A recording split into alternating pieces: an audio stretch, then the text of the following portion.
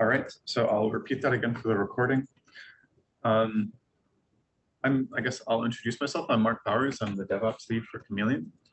And uh, before I pass it off to Kate to introduce Chameleon a bit, if you've never used Chameleon and you want to try things out, uh, you can go to this URL. It'll ask you to make an account. And you can do that by just clicking sign in with your institution uh, credentials here. Uh, or if you have a Google or ORCID, that works as well if your institution is not a part of this group. Um, and then you'll see the screen to request to join the tutorials project. Uh, click confirm and I'll get those requests. If you're sitting there, they can't see you. You might want to go this way. Uh, okay. Sorry, I didn't mention that. Camera, The camera doesn't see that far. I'll, I'll move uh, that over to the center. Okay, So now they can all see you very well. Um, okay. And that's where I'll stop this for now. Um, and I'll monitor those requests and I'm gonna pass it off to Kate uh, to introduce everything.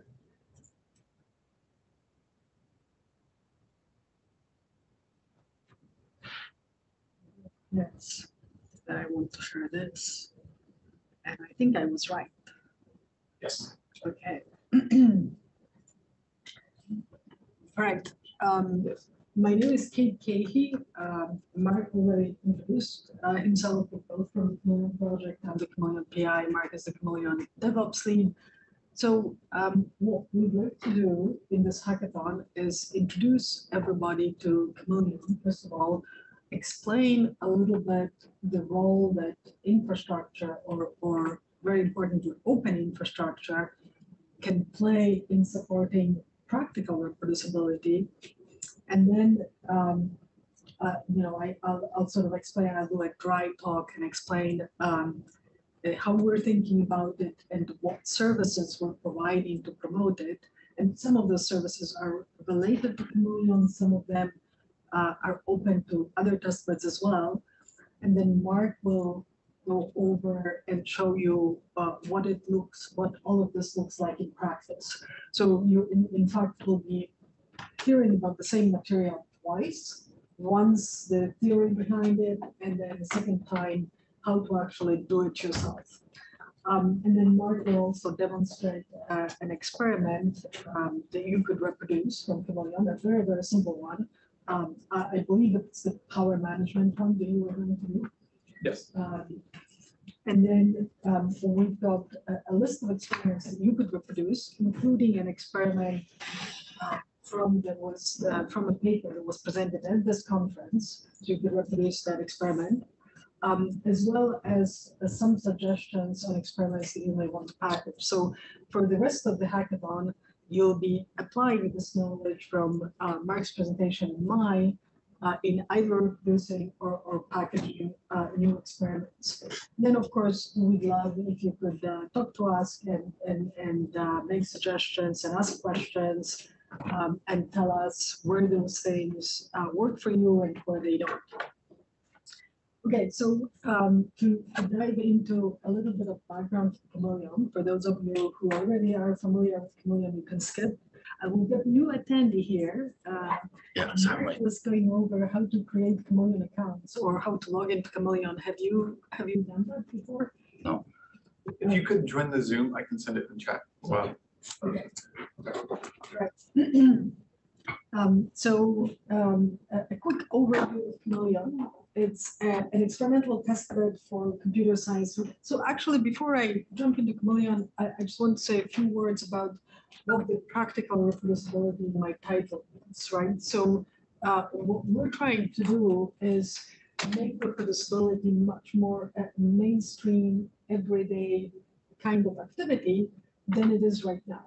Right now, reproducibility in, in computer science uh, research, anyways, is mostly confined, not, not entirely, but, but generally confined to various uh, artifact evaluation initiatives uh, when people are trying to uh, make experiments available, reproduce them, uh, but it's not it's not used in the mainstream. It's not used by um, uh, individual investigators, when they are entering a new area, um, they, it's still yeah, the coin of the realm to read papers.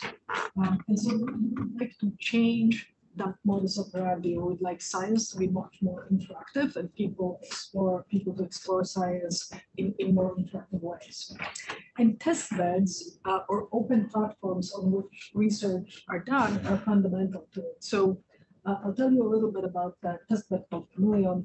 There will be an opportunity also um, uh, to talk about some other test beds that are supporting different types of computer science research. So one thing that we um, um, emphasize in Chameleon is to cover a wide range of hardware from uh, large to small. So uh, the two uh, uh, foundational um, resources or foundational sites of Chameleon are University of Chicago TACC. Uh, in both cases, the hardware is part of a large supercomputing center. TACC is the Texas Advanced Computing Center. Um, the University of Chicago hardware is at the ALC, at the Advanced Leadership Computing Facility, uh, Machine Room at, at Argonne. They are both top 10 uh, supercomputing centers and, and have a lot of experience in managing scale. Um, they're also connected by a 100 G network, uh, which allows uh, people to do experiments with large flows, and, hopefully that will get upgraded soon to uh, something even more capable. But we also, on the other end of the spectrum, seek to support edge devices. So uh, single board computers like Raspberry Pis or NVIDIA Nanos, which are increasingly more popular today because they allow investigators to instrument their environment uh, for all sorts of reasons. Right, so um, put those devices in the field when they are collocated with uh, phenomena that they want to observe and measure, right? So they want to understand, for example, uh, the quality of access networks, or they want to uh, look at, at uh, wildlife patterns um, or, or uh, um, intelligent agriculture and things like that. So the hardware is also very diverse. We've got multiple types of FPGAs, uh, many different types of accelerators, uh, including very capable ones, but also uh, gaming um, uh, GPUs like RTXs. Uh, we've got a range of different storage memory infrastructure uh, from consumer grade to enterprise grade NVMEs, SSDs, all sorts of different types that you can compare and contrast the performance of. We've got NVDIMMs, uh, interesting networking hardware, and so on and so forth. And we also packaged the Chameleon infrastructure um, to make it easy to install. It's called, the packaging is called CHI-in-a-Box. And it's not just packaging of the system, but it also packages the um, operations model. And that made it easy for multiple different sites to uh, join Chameleon. So Chameleon right now has a site at the uh, Illinois Institute of Technology, at NCAR, which is another supercomputing center. So NCAR donated um, uh, some very interesting ARM Thunder nodes that they were using to test their future supercomputer. We've got sites at Northwestern and UIC as well and are working with multiple other institutions to uh, configure uh, Chameleon volunteer sites. And that, of course, gives the system not only more computing, but and, and more interesting computing, but it also gives us a, higher degree of distribution. Right? So if you want to uh, run very distributed experiments, uh, that's a much better platform. So uh, a lot of interesting hardware, distributed hardware, very diverse, uh, all sorts of things. Um, the second thing to know about Chameleon is that, of course, Chameleons like to change, right? So the name of our system is derives from the fact that we try to adapt ourselves to whatever configuration you need for your experimental needs, right? And for that, we support bare metal reconfigurability. So um, by far, most of Chameleon, most of the system is configured to support uh, bare metal reconfiguration. Uh, so you could change the uh, firmware, you can power the, the nodes on and off reboot them, boot from custom kernel, uh, and all sorts of things like that. And the, the reason for support for bare metal reconfigurability is that many computer science experiments need that, right? So people who exper experiment with performance variability, especially with hardware variability, um, need that. Power management is another type of experiments that uh, you know, it's a, it's a branch of science that is uh, very, very popular today, it's obviously very important. Also is something that requires metal configuration. Uh, But uh, not everybody does. So for folks who don't do that, and, and generally speaking, those are educational projects, we also support a KVM cloud. So it's a small uh, part of Chameleon Resources has been uh, virtualized and supports a, a virtualized cloud. And for edge computing, I said we could add edge devices to Chameleon and, and work with them. Uh, we support the configuration via containers. So there are different types of reconfiguration that we support for different types of hardware and in different situations. Um, it, all of that means that you have a- a broader range of experiments that you can run and, and reproduce. And last but not least, uh, Chameleon is um, slightly unusual in the sense in, in, uh, that it was based on mainstream infrastructure. So typically, test beds for computer science research uh, were configured using uh, something developed in-house because it's it's really an adventure that goes on and on, right? The, uh, the test bed is a scientific instrument, which means that it has to adapt and change as people find new research questions to answer. And um, uh, for that, people always felt that they needed to develop something customized.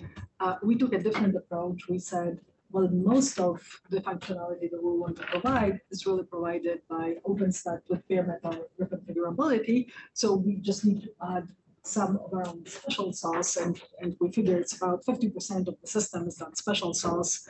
Uh, support uh, science needs. And that special sauce uh, includes uh, special network features, snapshotting, uh, integration with Jupyter, um, which I'll talk about uh, some later on, and, and generally speaking, special features for experimentation.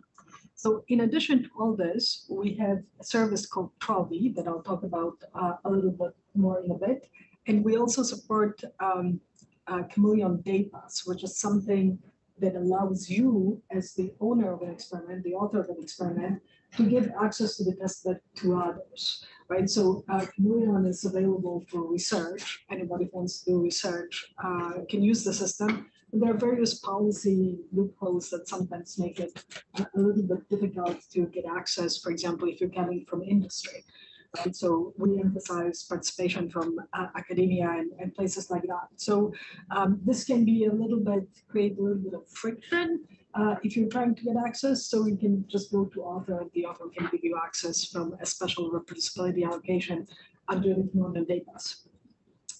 Um, and all of this, so this, this means that absolutely anyone in the world could reproduce your experiment, right? It is, it is in your purview to give them access to reproduce your experiment. And like I already mentioned, uh, uh, we've got all packaged so that uh, if you want to add a site, you can add a site. And this actually proved to be uh, a reasonably important feature because in HPC and, and other communities that do research on architecture, um, it's sometimes very difficult to get access to hardware, to very unique hardware. So if you have the system packaged, you can add such hardware easily for a limited period of time. Um, and that makes it available to, again, anyone in the world for reproducibility. So if you need to, need hardware to reproduce things, uh, we, we try to make it possible for you to, to get it.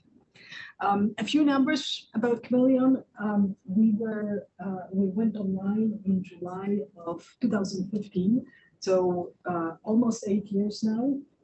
In those eight years, we uh, had the privilege to serve over 8,000 users uh, coming from many countries and many institutions. We've got almost, almost a thousand projects. I think uh, we're like 13 projects shy of, of uh, a thousand unique projects. Now, uh, in Chameleon, many users, they um, submit a project, a research project in order to get access uh, to the resources, in order to get an allocation, and then they just keep renewing that project, right? We don't count renewals in this number, we just count unique projects. And, and this um, community published more than uh, 600 papers that we know about. Right, that we were able to find, uh, our users either said, we used Chameleon for this paper, and, um, you know, we went through the attestation cycle, or we found it from other sources where they explicitly um, cited Chameleon.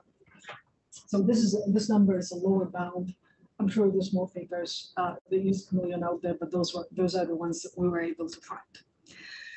Um, a quick overview of Chameleon hardware. Like I said, we've got two sites, one at the University of Chicago, the, the other one at TACC. At University of Chicago, we also have um, the capability to add CHI@Edge devices, and we've got some CHI@Edge devices that are available in our um, IoT lab. But what our users prefer to do is they generally like to have their own edge devices uh, that are connected to some camera, watching wildlife or, or some other sensors and, and then run edge cloud experiments on that added edge device, right? So uh, maybe they use our GPU resources for training uh, some inference models that they later on run on, on uh, their edge device. So we support that functionality as well. But if you're just interested in uh, experimenting with the edge devices, we've got a bunch of Raspberry Pis and, and Nanos that you could um, uh, start using right away without, without needing to have your own. Um, and like I said, the sites are connected via a 100G network. We've got uh, some volunteer sites that I already talked about. And you see there is a Purdue logo, which is grayed out right now. Purdue was added on an ephemeral basis uh, to last year specifically to support IndySCC, which is a, a very prestigious supercomputing competition. This year, they are running this competition again um, and they are adding a, a supercomputer um, at Colorado. So um, it's possible to add resources to Chameleon for experimentation or reproducibility purposes for a short amount of time. And then, of course, we partner with uh, with other test beds. So there's a test bed called Fabric for networking research. They they allow you to reconfigure network at the core, which is a, a new capability. Um, there is uh, another uh, NSF project called CloudBank, which provides access to commercial clouds. Um, so you can uh, run experiments across Chameleon and commercial clouds if that's what you want to do. This one of those experiments is packaged on Trovi, um, actually. Um, and there's also um, there are also wireless test beds um, under the umbrella of our PAWR uh, initiative. So there are four such test beds and they provide capabilities for um, uh, wireless uh, experimentation. And we partner with all of those test beds and as much as possible encourage and support our users in running cross platforms, uh, experiments. So what does the experimental workflow look like in Chameleon? Um, most of the time, our users start uh, by discovering resources. So they have some hypothesis. Uh, you know, if your hypothesis is machine learning, you probably need some GPUs to allocate. So you can go to our portal, uh, look at the resources. Uh, Mark will demonstrate that later on. You can decide which resources you want to find and which will be uh, the most suitable ones for your experiment we version uh, the test bed.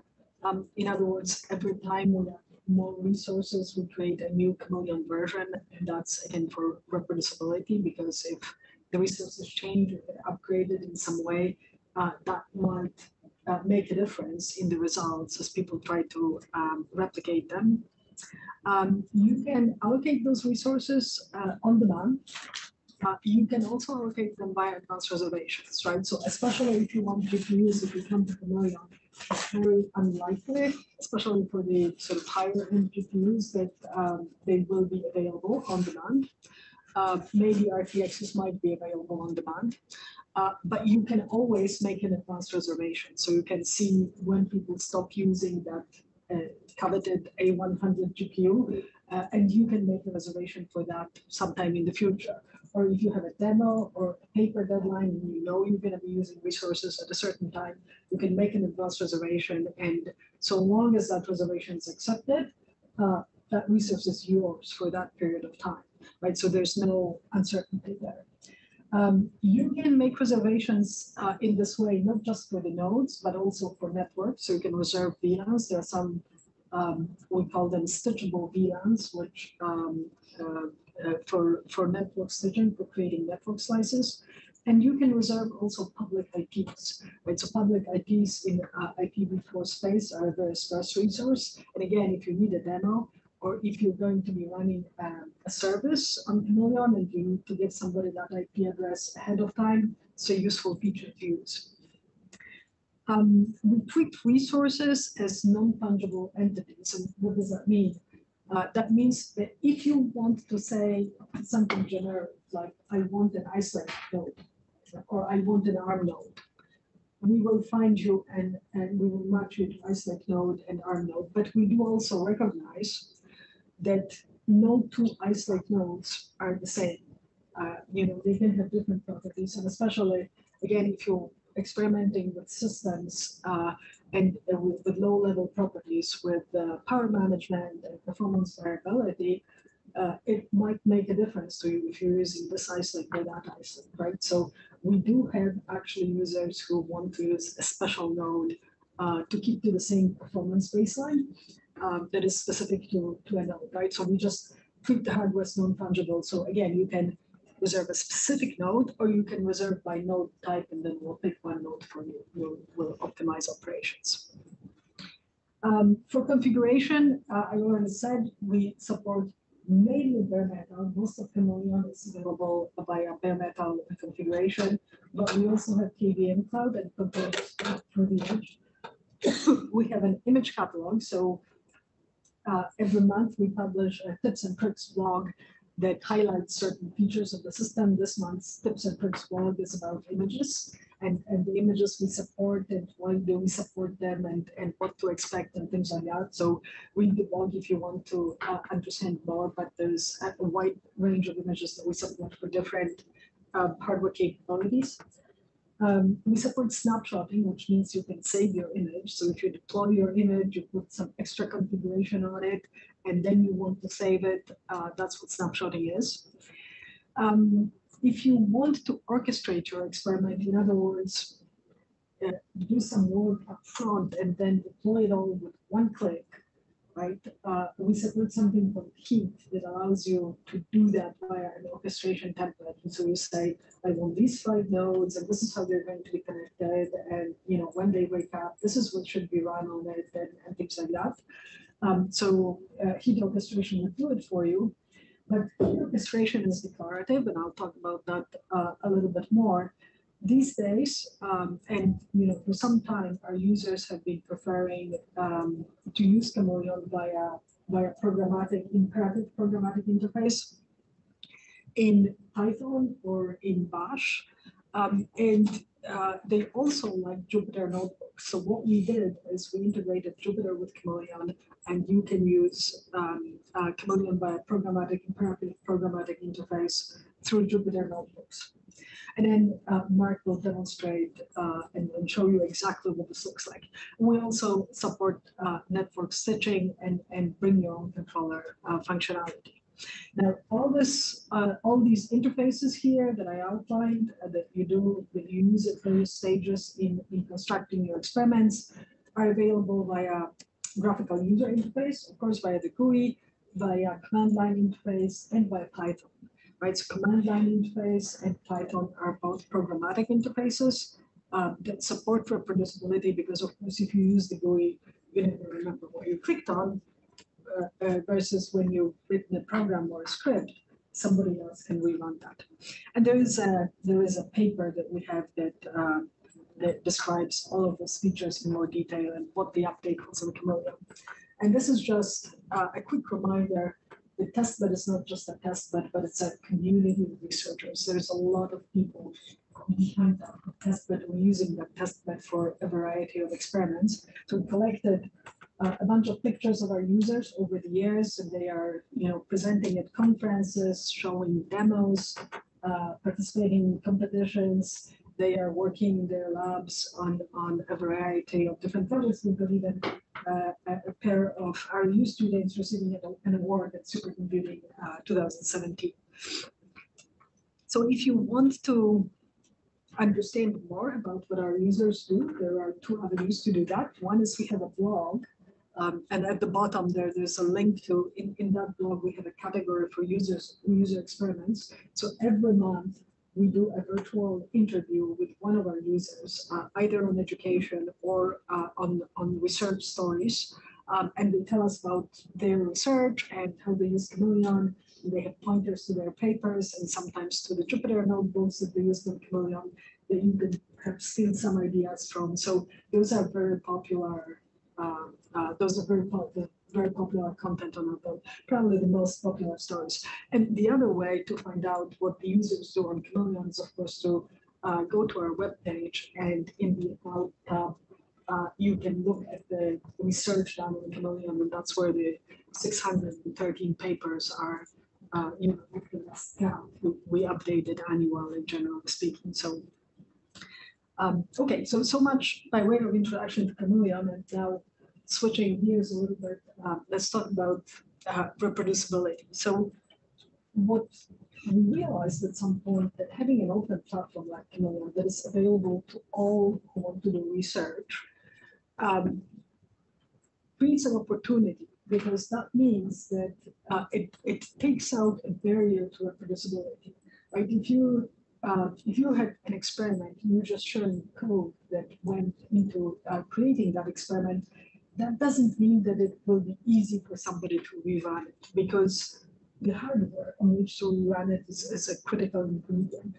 and very often it's much more critical for computer science than other sciences because for computer science, it might require a, a very special, unique architecture or a very special, unique networking configuration that is hard to uh, obtain in places.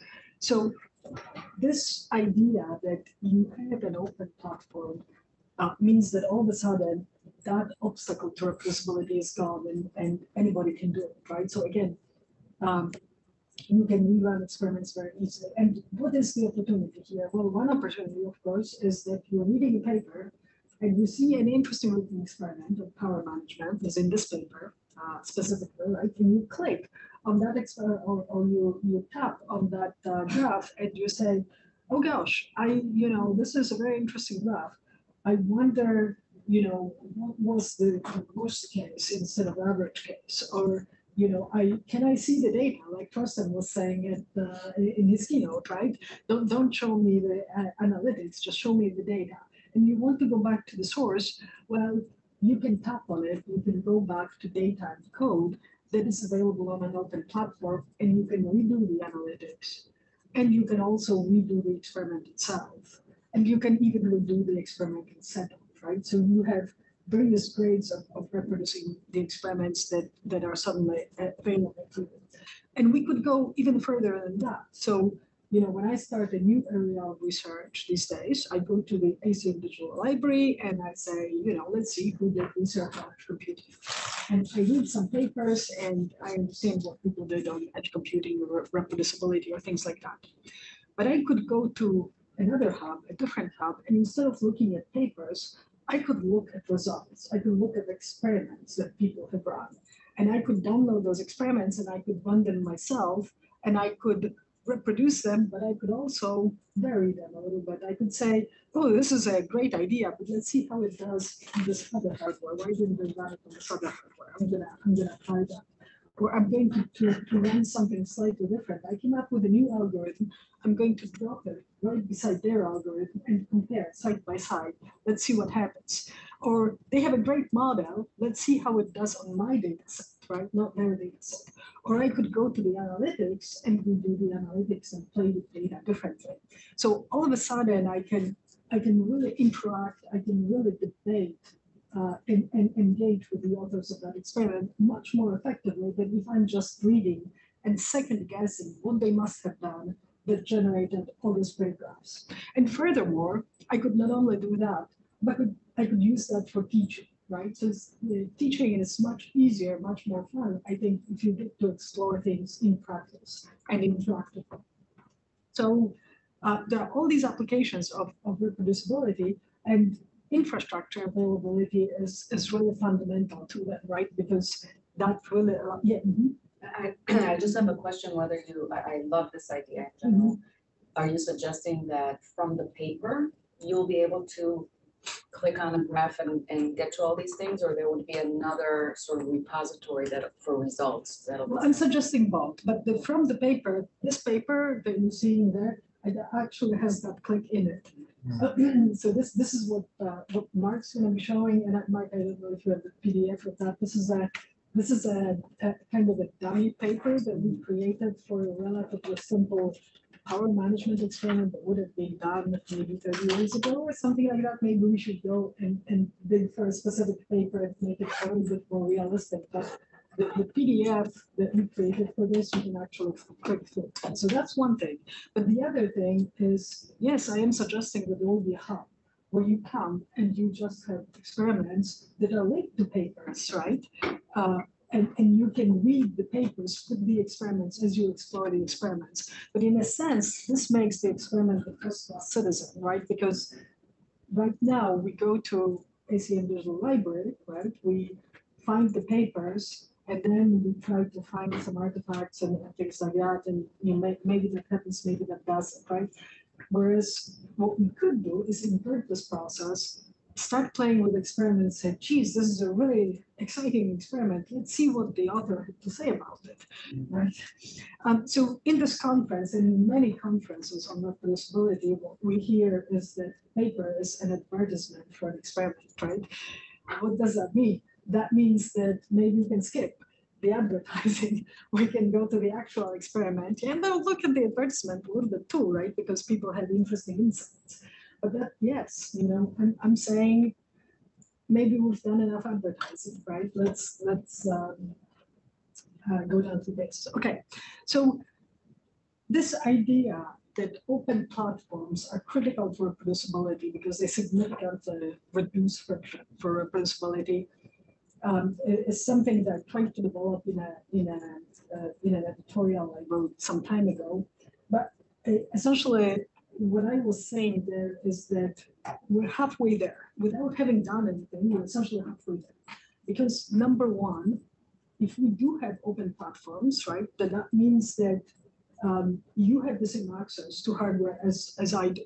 So in other words, if I do this wonderful, amazing thing uh, and, and, you know, evaluated it on a cluster of, of GPU nodes that I have in my department, so you can't reproduce it because you don't have access to the, um, to the uh, cluster of GPUs in my department. Well, now that's not the case anymore, right? We can, we both have access to a cluster of GPU nodes, including access to the same ones, right? So again, if we do any of that low-level stuff, performance variability and things like that, we can compare head to head. We can compare things exactly. So this non-fungible resources, very important, um, and then open and version control also important.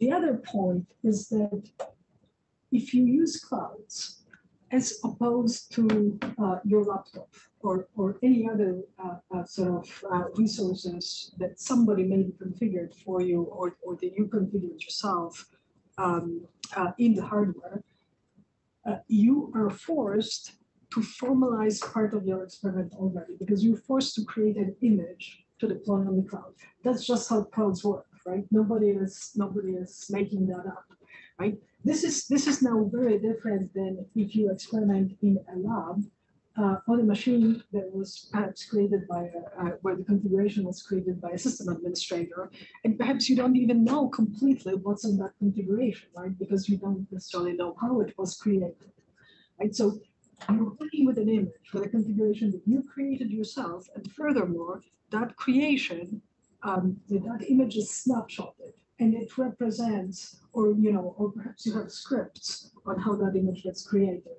but that that snapshotting, the image plus the scripts, they represent a, a, a method for creating uh, your experimental environment, right? So they already capture the experiment done. And here's the interesting thing. Over the last eight years, where thousands of users created thousands of such images and orchestration templates and Jupyter notebooks. So they created all those artifacts and they are there. Most of them are actually publicly available. But even though it means that they, they take you halfway towards being able to reproduce an experiment, you won't find out about them. They are not connected to experiments. So there's a, there's like a treasure trove, right? That uh, it's just not connected, not advertised, not articulated. This is something that you could use for uh, repeating that, that experiment. So what do we need to now uh, find that pot of gold, right? To, to get at the treasure that we already have. that, that go down as side effect of, of people using codes for experimentation. So I, I sort of looked at the needs of people who reproduce experiments and package experiments. Like I said, at the, at the end of this, as part of the hackathon, we're gonna do both. And we would really welcome your thoughts on, you know, what, what those considerations really are. But when you're reproducing somebody else, somebody else's experiment, what do you need? Well, from the perspective of packaging is first of all, you would like to get a complete packaging of experiment. So all the code, all the data, all the description of how the experimental configuration was created, maybe some orchestration template or, uh, you know, all the data analytics, all the everything, right? All the artifacts. Secondly, I already alluded, there is a difference between a, a declarative um, a formulation of an experiment and imperative formulation. What declarative formulation means I describe my experiment in terms of a state that I want to achieve for that experiment. So for example, I say a virtual cluster of eight nodes that are configured in such and such way and interconnected uh, in, in a certain way, right? And the system goes out and creates that for me. And many people find that very compelling because um, uh, logically, that means that that creates, that lowers the barrier to creating that experiment, just makes it easier, makes it conceptually easier. Unfortunately, if you describe things in a declarative way, that description may not be uh, very exact, right? So there may be many configurations that fit into what you describe. That's bad for reproducibility because if somebody recreates the configuration for some reason ends up with something slightly different, uh, that's, you know, that, that might not be reproducible. Um, also, in the process of creating that configuration, you might have some side effects. You might, uh, your, your process might create some side effects that might also then impact reproducibility. But the biggest problem with the declarative uh, way of representing your experiments is the fact that they are transactional. So in other words, um, from here and to where you get to the state you described, it's one closed transaction. It's supposed to be one closed transaction, right? Because it's supposed to be encapsulated and easy to use, right? So not just a black box, but a shrink black box. And this is a problem because experiments have different stages. You create an experimental container, you run the body of the experiment, you run data analytics, uh, and so forth. At each of those stages, you might have a new idea. You might say, I, I'd like to do something else. They created a cluster of eight nodes. Um, I'd rather create a cluster of 512 nodes and see how what happens. You know, they ran on Ice Lakes. What if we go back a few generations of uh, Intel and rerun this on Haswell's? What happens then? Right? What if we run it on some different architecture altogether? If this is all encapsulated as a shrink black box, you can't do that, right? All those uh, opportunities to vary the experiment, to interact with science are lost. So imperative, when you write the program on how to create that experiment, right? So create this cluster of 512 nodes by allocating the nodes, reconfiguring the nodes, creating uh, network connections and so forth, offers you many more. I mean, it's it's it's uh, one. It's a much narrower road, so it's much uh, less possibility of uncontrolled variation, but also much more possibility for controlled variation, right? So if you get a brilliant idea to do things a little bit differently, you can do that. Um, so imperative, non-transactional, right? We don't want it encapsulated. We want to be in a situation where we want to rerun it bits by bits, and there are good stopping points where you could go off in another direction. Or if something breaks, you could fix it easily, right? Because it's just a small thing that broke, right? Rather than the whole big thing broke and we don't know what to do with it. And they should be integrated. So I just said we've got those thousands of digital artifacts that are not connected to experiments and they are not connected to papers. Um, they should be connected, right? That's what I mean by, by integrated. And it turns out that that integration idea has been around for a while. And of course, who else but Donald came up with it, right? And it's called literate programming. So the idea that you combine code um, uh, or, or scientific process expressed in, in our case in code with explanations, with data analytics, with illustrations, and so forth. And today, the uh, most popular implementation of literate programming is Jupyter. And I will talk about that uh, a bit later. So secondly, the person who's reproducing this experiment, they need access to this experiment and they need access for reproducibility, both the, the code and all the experimental artifacts and the infrastructure on which it is run. And so they then also need to discover and find experiments uh, along the way we just talked, right? So not just from the paper, but also it would be cool to have a hub where I can go and I can say, you know, who experimented here with uh, with Edge, because I would like to uh, look at that. So through various channels, not just through the papers. Now, from the person perspective of the person who packages experiments, things are a little bit different. So especially in the packaging uh, realm, because the author, generally speaking, in, in my experience at least, wants a way of packaging an experiment that is cost effective, right? So in other words, there's this dilemma. Do I put time in, in reproducing an experiment or, or making my experiment reproducible? Or do I put time into new research? And making an experiment reproducible steals time away from your research. So there is that tension always. So in as much as we can make it a side effect of research or do something that users already do, um, uh, that's best. And we are already doing that because uh, we're using the cloud pipeline. So people have to create images anyways to use cloud, right? We're already leveraging that out. That happens as a side effect. Uh, your environment gets packaged, right? So maybe we can also uh, leverage that and on other things. But they also want a way of packaging an experiment that is user-friendly um, because they want impact of that experiment, right? So the user-friendly brings them more in alignment with the person who's ultimately reproducing the experiment. So creates a bridge. So it's it's very important to preserve those author to um, uh, to uh, uh, audience incentive. So uh, give access for reproducibility, right? Again, we're after impact. We want impact, so we want people to reproduce our experiment. Uh, uh, so that's great. And then we want to share work in progress um, uh, with collaborators, but we also want to share completed work. We want to say, this is not side, side of the experiment, right? And very important, get credit in some way for having packaged the experiment, for, for making it a contribution. So I'm going to talk, we've got, we've got services that uh, our team developed in all three aspects of this, and I'm going to talk about them one by one, and then Mark will show you what it looks like in practice. So first of all, packaging shareable experiments. Um, uh, we already talked literate programming. Jupyter is a great implementation of that literate programming, and our users wanted to use Jupyter already. So what we did is we integrated, uh, uh, we provided Jupyter interface to Chameleon, right? We integrated a Jupyter Hub with Chameleon such that uh, you, uh, when you log into Jupyter Hub, you, you log into the testbed at the same time and your authentication, your credentials are implicit in all the Jupyter cells. This has two important, I mean, it has many consequences. One has two important ones. Number one, it just makes it easier, right? You, you're logged into the test bed. But number two, that also means that nowhere in that Jupyter notebook are you storing your credentials and, and having to take them out uh, ultimately.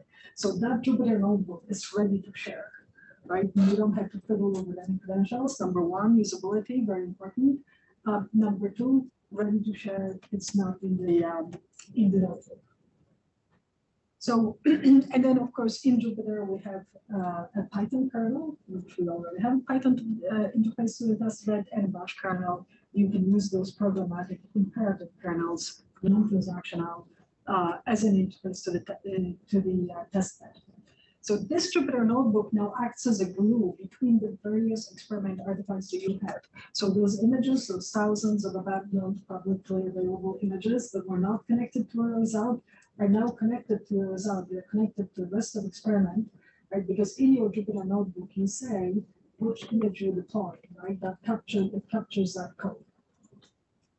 Um, and then um, you can uh, create what we call experiment patterns, which are essentially an experimental container that many people can use. So in the power uh, management uh, experiment that Paul, that Mark is going to be demonstrating, you know, somebody else could take the uh, container creation, the experimental environment creation part of that Jupyter notebook, just cut and paste, create your own experiment, no control management, something completely different.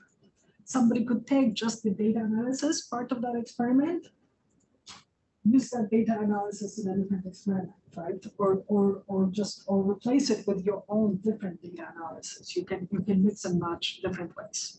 And again, we've got a paper that explains uh, a little bit more uh, behind the philosophy of, of that combination. So this packaging, it, it achieves for us very important things. Again, it connects all the experimental artifacts.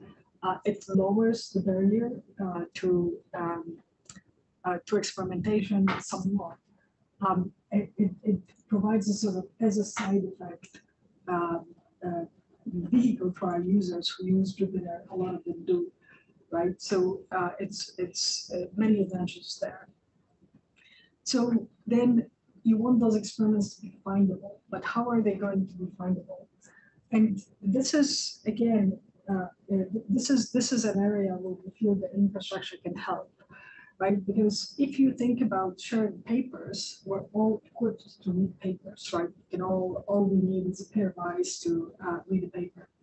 If you share digital content, it's not so easy because you need either visualization or you need a programming uh, environment to replay that, uh, that experiment, or you need something, you need the infrastructure.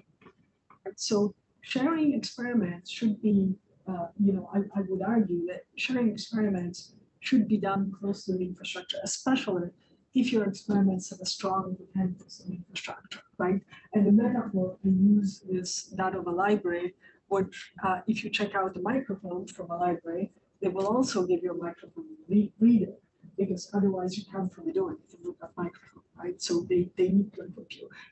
Similarly here, if you share experimental artifacts, they need to be shared as a compute capsule, as a combination of code, data, other artifacts, and infrastructure on which those artifacts can be replayed.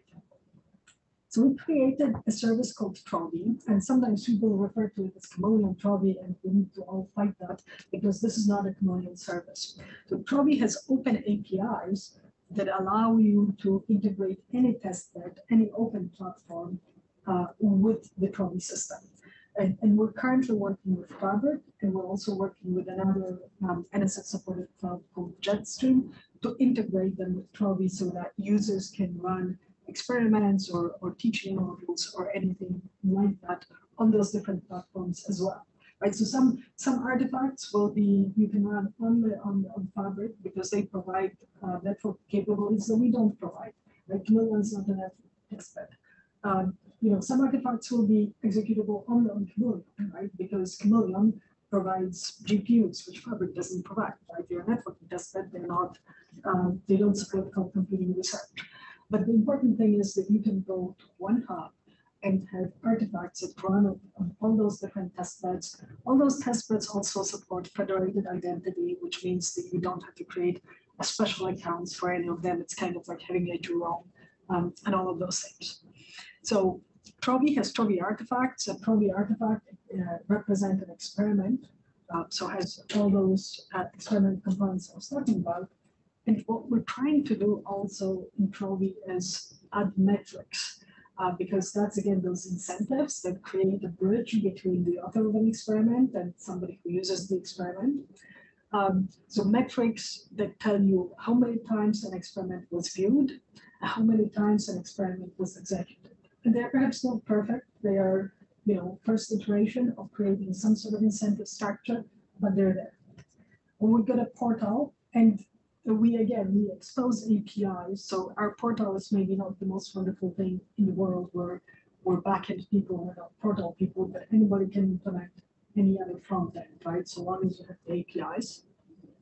And we also integrated with Trovi, we integrated with Swift, um, which is the uh, object store in Chameleon, so you can store experiments, sort of basic storage. Um, we also integrated with GitHub, right? So GitHub provides a lot of uh, cool features like versioning, like, like the ability to fork and manage code forks and things like that.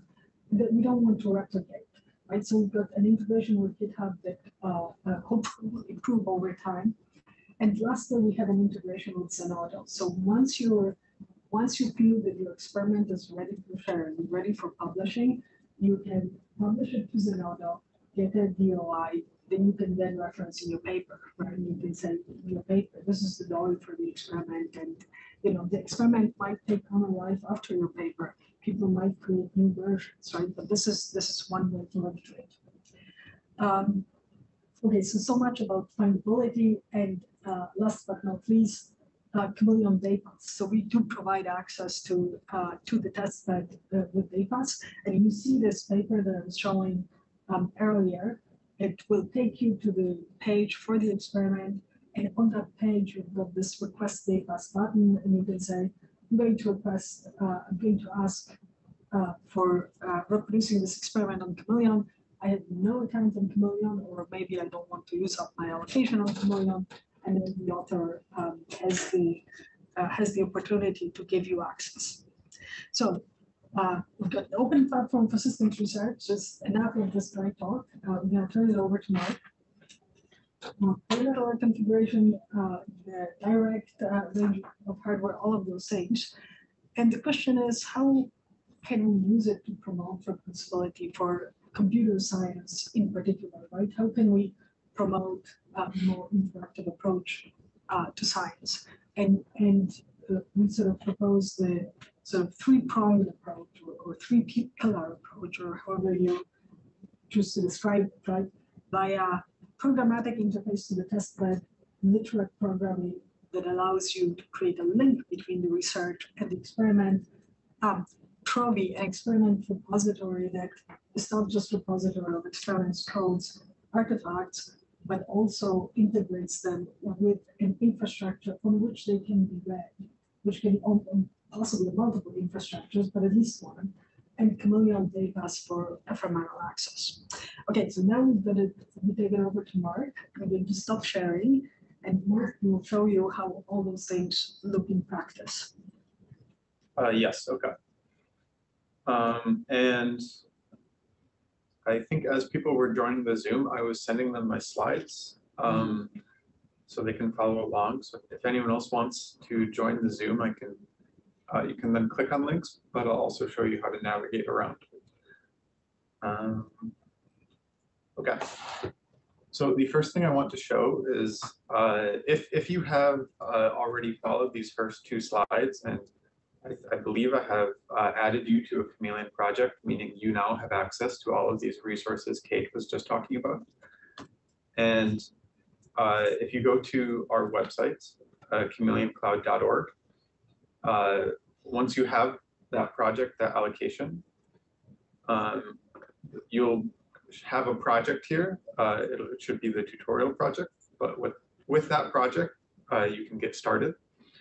Um, and so the first thing I'd like to point out is we have this experiments tab and there's Trovi. And this is what Kate was just talking about. Our, this is our uh, artifact repository of where people have uh, published and shared experiments that work on Chameleon.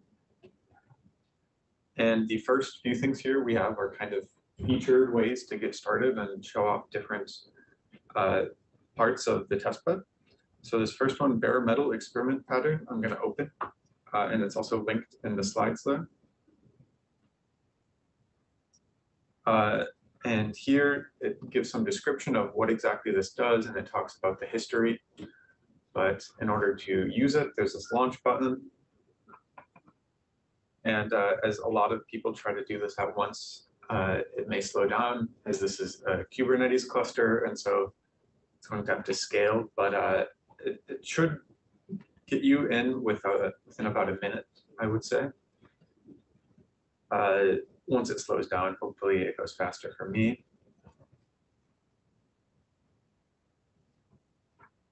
I've launched this before, so uh, I expect it to look uh, the same as what you would all be seeing.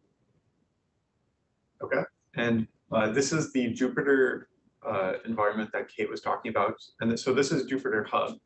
And what that allows us to do is give you a Jupyter lab environment but uh, we authenticate you uh, when you log in and authenticate you to the testbed resources. So the first thing I'll do is I'll open this up. And uh, this experiment comes with a README, which talks in more detail of what exactly is going on. So uh, the first few steps of the experiment, the first one is to set up, oops. Uh, the first step is to set up uh, the environment for it. So that means we're going to need a bare metal node, and this is a little small, but. So we'll grab a bare metal node, and to do that on Chameleon, since we're in a shared environment, we have to reserve it first. But uh, usually there are some on-demand resources you can grab right away. Uh, and then we'll have to actually create an instance on that bare metal node and then install any software that we need for our experiment. So I'll get that started now. Um, and then this takes a bit of time since uh, we're configuring bare metal servers. So uh, here, maybe I'm going too fast through this, but I opened up the experiment uh, file that it mentions in the README. And there is some literate uh, text here.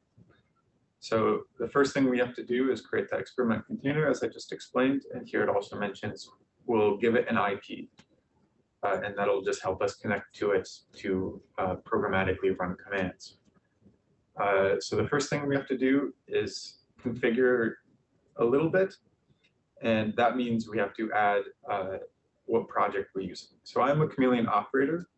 So I am a part of this Chameleon project, but everybody else uh, that joined the tutorial project, if I go to my dashboard, my projects, and I have a lot of projects. So I just go down, there's this one, Chameleon user meeting tutorials. So I'm just reusing this from our previous meeting, but it gives us the project name CHI 231132. So I'll copy that and paste it here as my project name. Um, and it says I'm using this project. And I also, in this step, uh, told it to use the University of Chicago site. And that's located in the Argonne National Lab Data Center. Um, if I wanted to change sites, I can update that line there. Uh, the next step in this experiment is to create the reservation. So I'm actually going to tell it what node I want to use. And this is where uh, I, it explains here, there's various types of errors that might occur at the step and how to get around them. But I'll hopefully run it successfully with no problems. And it has given me some helpful output. So it created a lease and now has to wait for the lease to start. Uh, and I think that should take under a minute here. Yeah. Uh, so I was able to find these resources and uh, now we just have to wait for them to be ready. So even though this is a lease, you know, I was able to grab these on-demand resources. While that's running, I can talk through what's going to happen in this next step. So this now, once we have the lease, we're able to actually provision uh, the node that that comes with. And if I look here, I can actually see what I reserved. So I got a node reservation and there's this variable here for a compute Cascade Lake R. Uh, and I'll show a bit more about what that means, but that's uh, the type of CPU on that node. And there's also this floating IP reservation, and uh, that worked out. Okay, so now there's this provision step that I'm gonna get running because this takes the longest. Um, and it may take around 10 minutes. And this is because we are uh, flashing our OS image here. So we have CC CentOS 8 stream. This is a this is basically just uh, CentOS 8, but we install a few helpful uh, utilities to like access your object store data uh, and to flash your instance. But uh, and we load like your SSH keys onto this. Um, but that's what this is. It's it's basically just CentOS 8. Uh, So I think everybody who uh, I added to the project should be able to have run this. Has anyone had issues yet, or I don't know if people are running it, but. uh, Let me check if everybody uh, got the Zoom link. Let me. uh,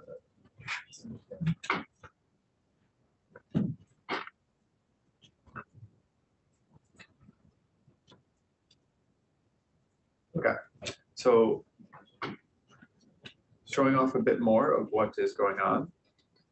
Uh, I mentioned that I was getting a Cascade Lake R node. So uh, what exactly does that mean? That's a great question. Back on the Chameleon website, under this experiment tab, right above Trovi, well, a few items above Trovi, there's a hardware discovery button, and that'll show you all the hardware.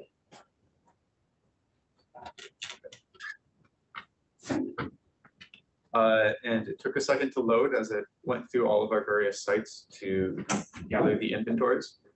But it shows there's five hundred eighty-six nodes right now uh, that you can use on Chameleon.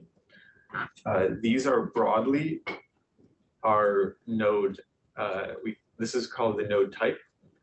All these uh, words and I, we use Cascade Lake R and it says there's eighty-two of those.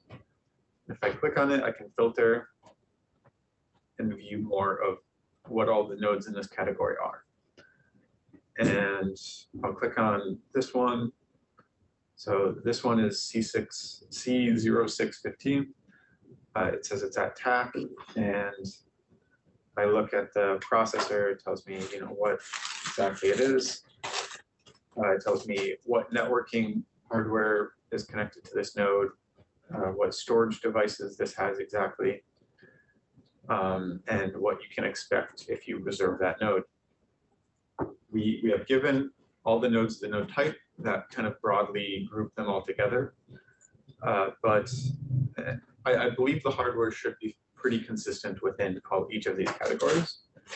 Or if I don't know exactly what I want, I can go down to these advanced filters and say, well, you know, maybe I want a node that has 96 threads on the CPU. And then as I scroll down through the advanced, you know, I can filter by how much cache there is, or uh, if I have certain experiments and I'm going to want to set up my own cluster, uh, I'm going to want to filter by nodes in the same rack. Uh, maybe you want to get GPUs. We have all the different GPU models here as well. Uh, we have nodes with FPGAs. Uh, we have nodes with high bandwidth network adapters. Uh, and if you're interested in specific storage types, uh, we have all the models listed there as well. So I can go back to my tab here and it's still going to be waiting for the server to start, uh, which is fine. While that happens, maybe I can show you the next thing here. If I scroll up on the hardware discovery, uh, it mentions first there's calendars for each site on what exactly their availability is. So if I click this link for Chi at UC, which is the site I was using, uh, it'll open the calendar. And here I can see a row for each node of this type. So I switched it to Cascade Lake R. Um, and I see all of the different nodes. Each of these colored bars is somebody is using that node. So there's lots of availability for this node type.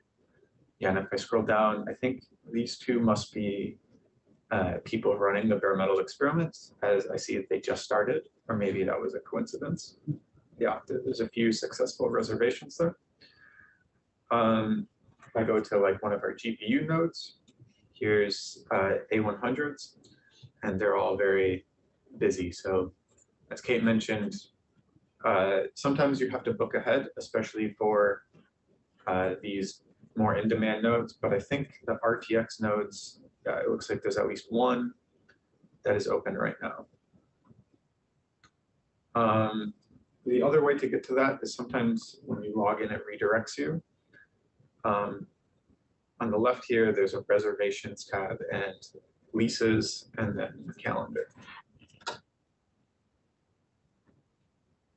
And while I guess I am still waiting for my server to start, I'd like to also show uh, a bit more of this uh, GUI interface. Can I just ask a naive question? Yeah. So, a- and, I'm just watching, I'm not. Okay. Um, is this a step that you would have to do every time? Or is this just So specific to this particular experiment or? uh, typically for pretty much any experiment, experiment, you would have this uh, 10 minute period while you're launching a node. Um, we do have a KVM site that, uh, that Kate mentioned, and those uh, VMs start very fast. You know, uh, definitely under a minute, I would expect, uh, depending on the size of the image you're launching. But uh, for the bare metal nodes, it will take some time. And you could, you know, have a node that you already have launched and use that for an experiment. But for a reproducibility standpoint, you know, I'm, I'm coming into this experiment clean without setting anything up before. This was just some, something somebody else shared. And, Yeah. and so I'll, I'll have to set up my own node for it. Okay, Got it. Um, but I, I would like to show off this user interface a bit. When you uh, go to it to start, and you can get here under experiment and then CHI@UC or any of the other sites. Uh, it takes you to an overview and this looks fairly close to a commercial cloud site that you may have seen, or if you've used OpenStack before, it should look very familiar because it is the OpenStack user interface. Um, it takes you to this overview tab, but you know I have a compute instances, and this is where VMs would be, uh, or this is where your bare metal instance shows up. So I'm going to actually switch to uh, the tutorial project we're all in, and I see we have five of these working. Uh, and it looks like uh, these are all building. See, this is my coworker, Adam. Uh, he had some error, but I think he was testing out a custom image, and so he's still working on it. I can click on my instance here. I see it has my name in it. Um, it says it's building, and it gives me all this other information. What's the private IP address? I can click on this console tab, which will connect to the serial console of the node. And this will give me some insight into the boot process, uh, which might be interesting.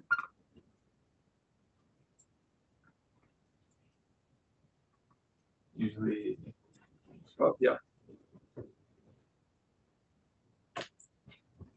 And it looks like the boot is not printing anything very interesting at the moment, so that's okay. Oh, there we go.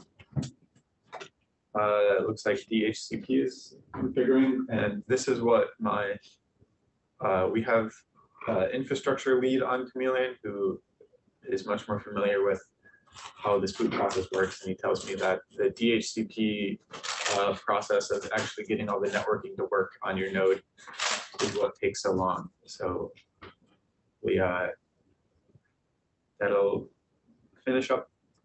Um, other things of interest here maybe is we have an object store and you can create a container and use our CLI or you're able to use uh, S3 compatible tools uh, to upload. We have uh, this share service, which is uh, an NFS.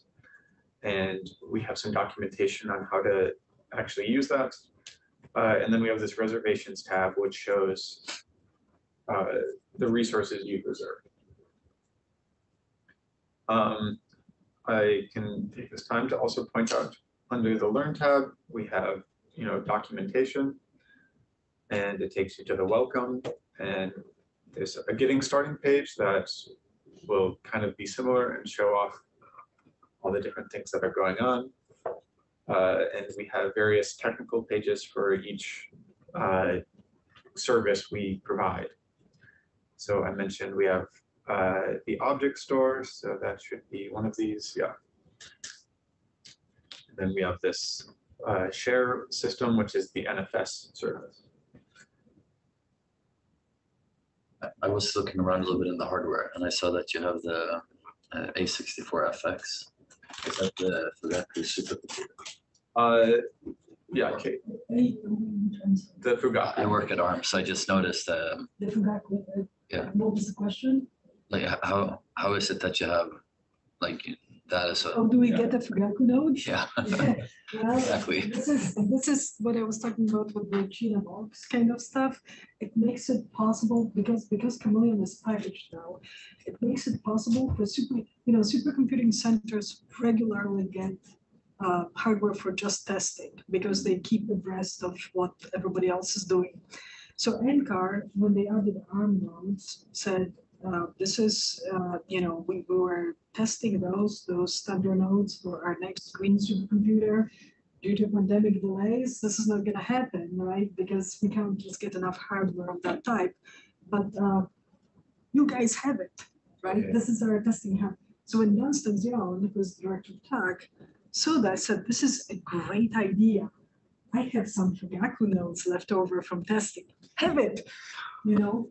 Um, and, and this is a great, this is, you know, this is a, a thing where everybody wins because uh, from the perspective of the supercomputing centers, if they spend uh, a larger allocation of budget on testing hardware, that's starting to raise eyebrows, right? Because you spend so much money, all it does is testing, and then you kind of, I mean, from from a large scale supercomputing center perspective, eight nodes is nothing. Yeah. Right? You can't really use it effectively. But if they can add it to Chameleon, that means that they amortize that expense. So since they can now amortize their testing dollars, right? They can have more testing dollars.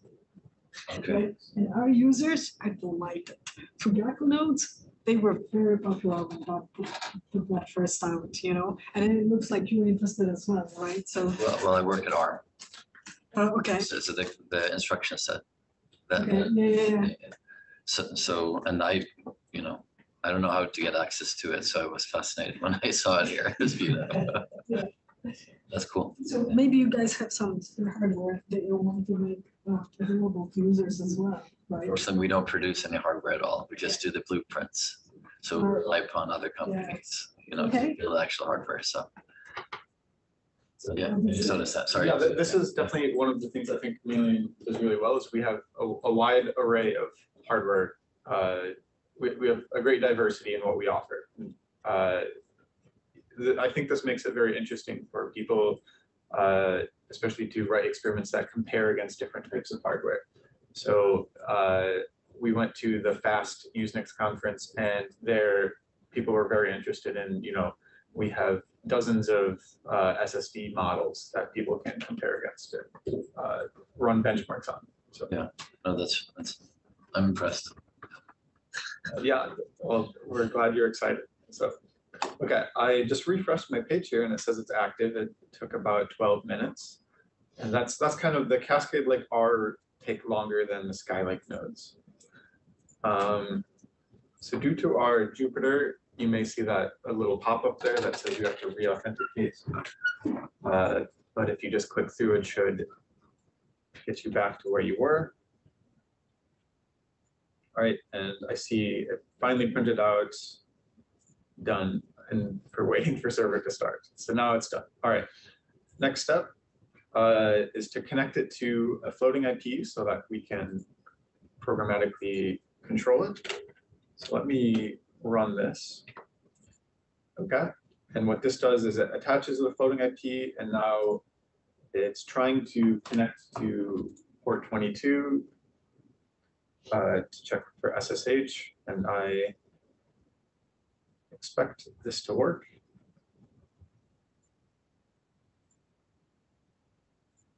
Uh, while that's connecting, I'll check out the serial console again, which might be more interesting now that it's actually booted.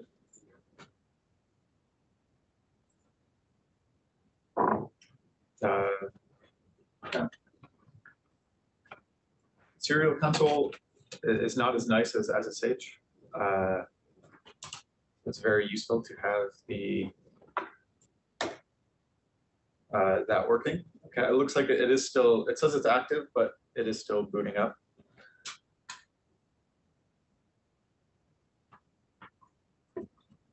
Um, I guess I can show off other things.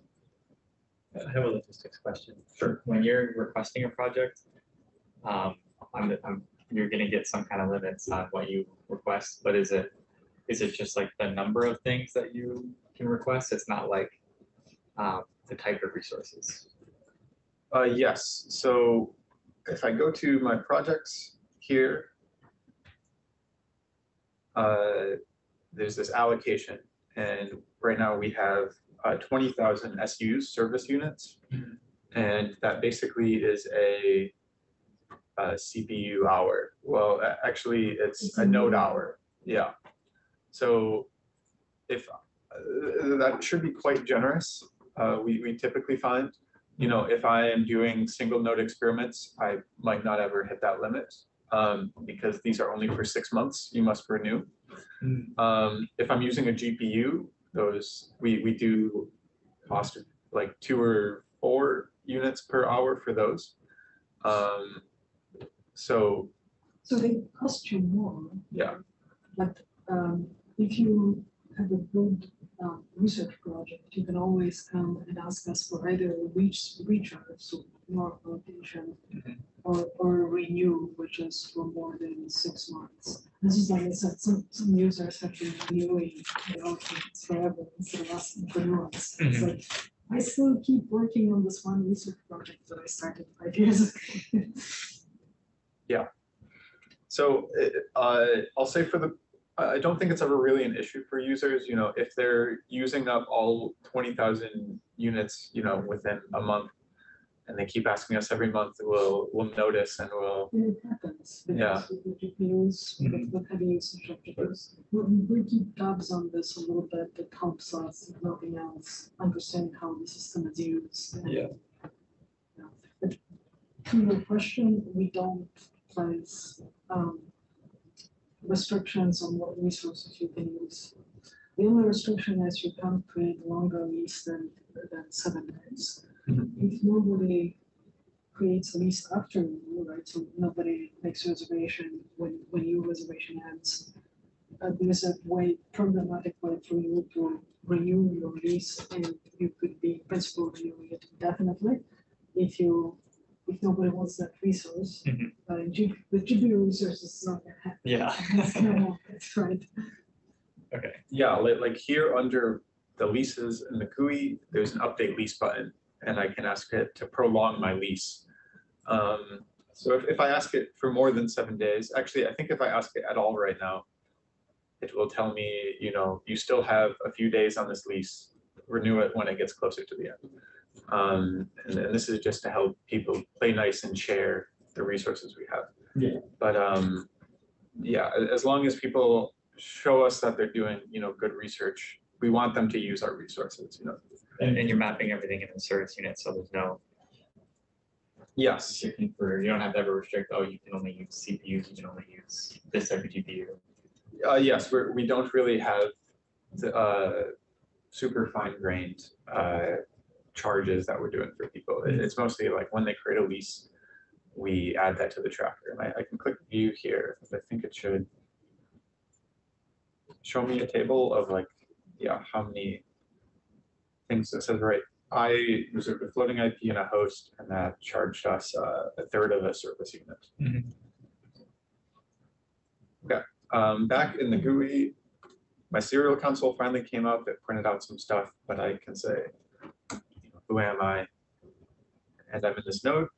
So I think it finally should say that the connection is successful.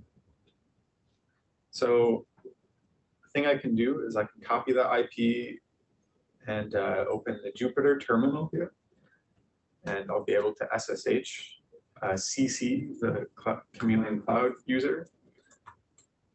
And it gets me into that node in this Jupyter environment. You know, I can do like ls CPU and should tell me, you know, I'm SSH'd into a pretty powerful CPU. Yeah, 96 threads. Um, and I, I could do this on my local, you know, any way I want to use SSH, but the way that we like to encourage people to use it is in the programmatic interface so that their work can be replayed. So let me go on to the next step, which is configuring the instance. Um, so it talks about, we just provisioned it, but, you know, we're, we're uh, just a stock CentOS image.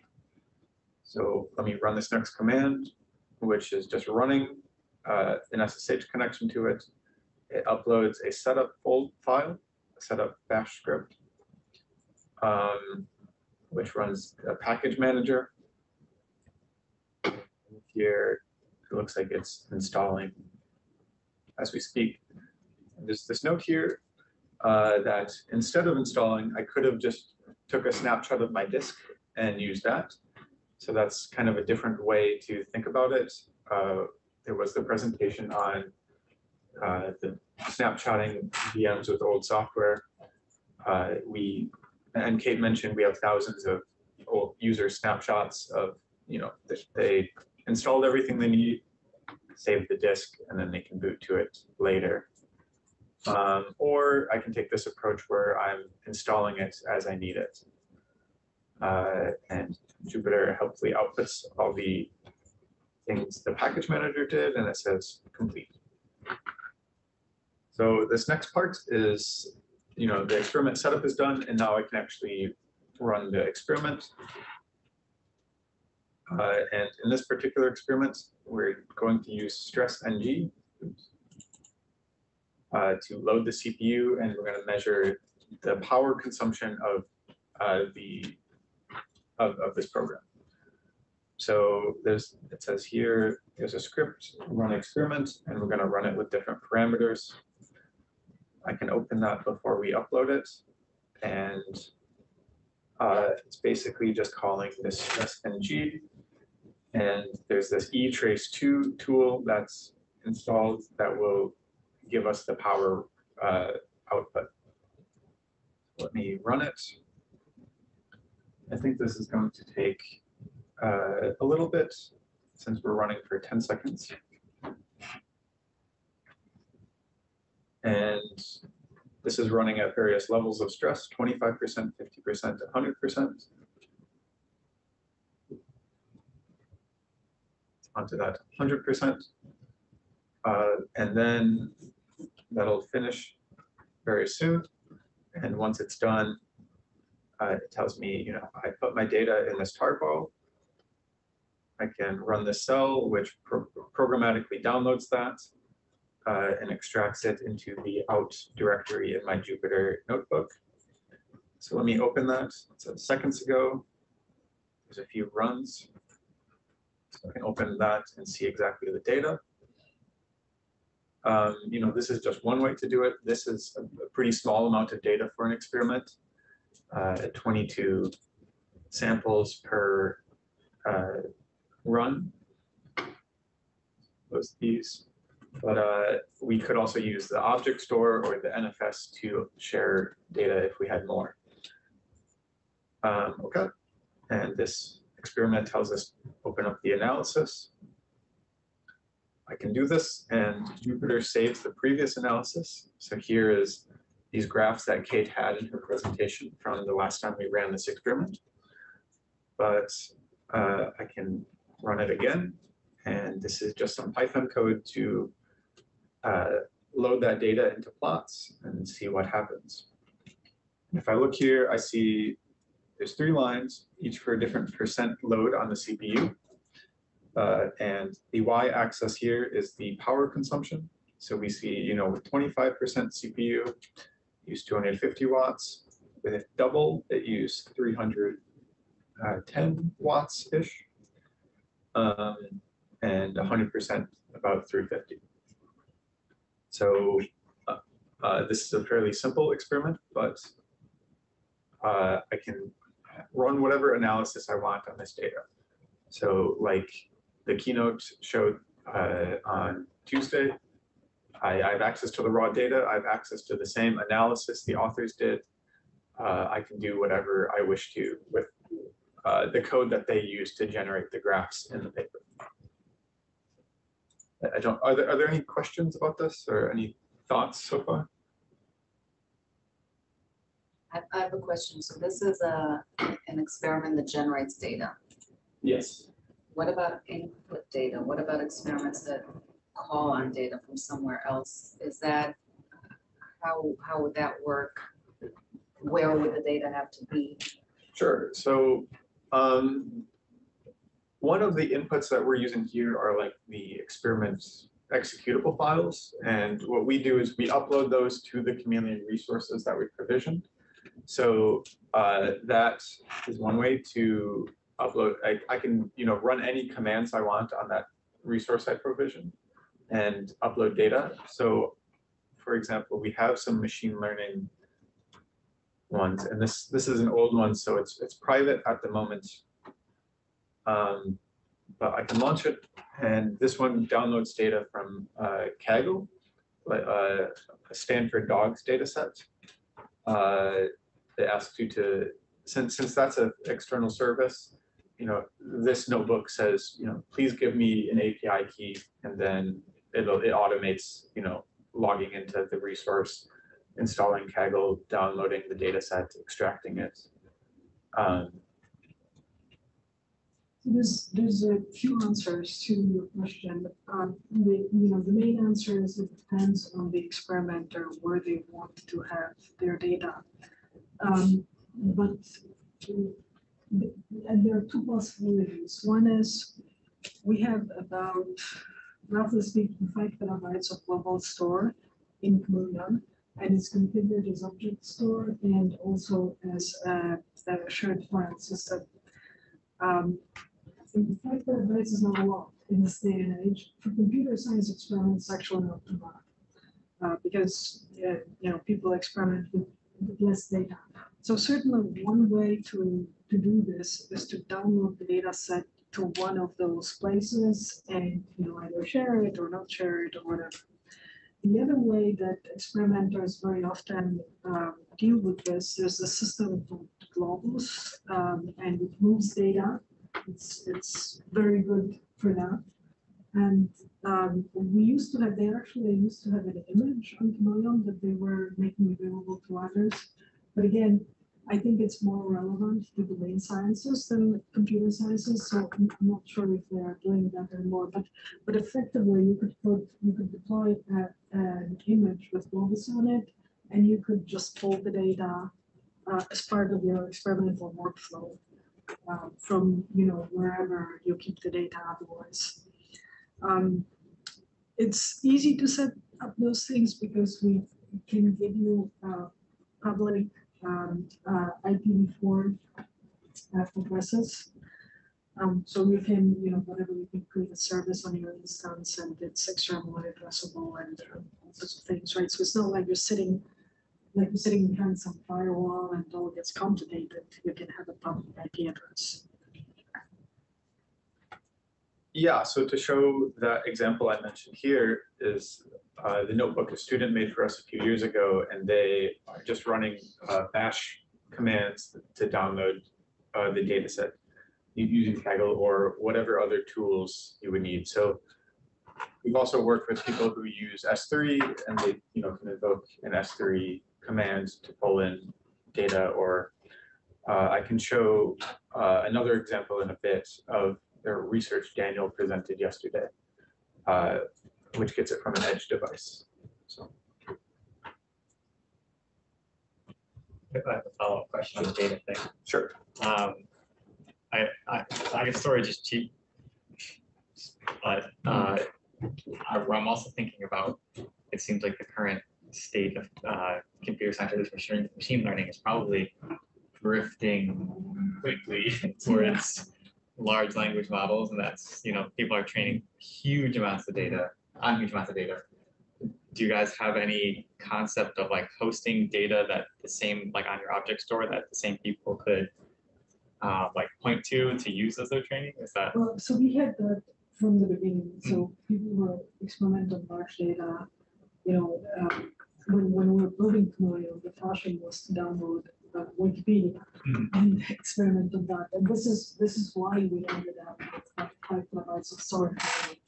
When we built the system, um, nobody wanted to actually do that, you know? Um, we would love to provide a system like that for, for sharing data. but I think it's more of a, it's kind of like the feasibility, it's more of a community venture, right? You know, the community has to organize behind that. and, You know, whatever the current version is, whether it's Wikipedia or whatever other data set, we love to host it.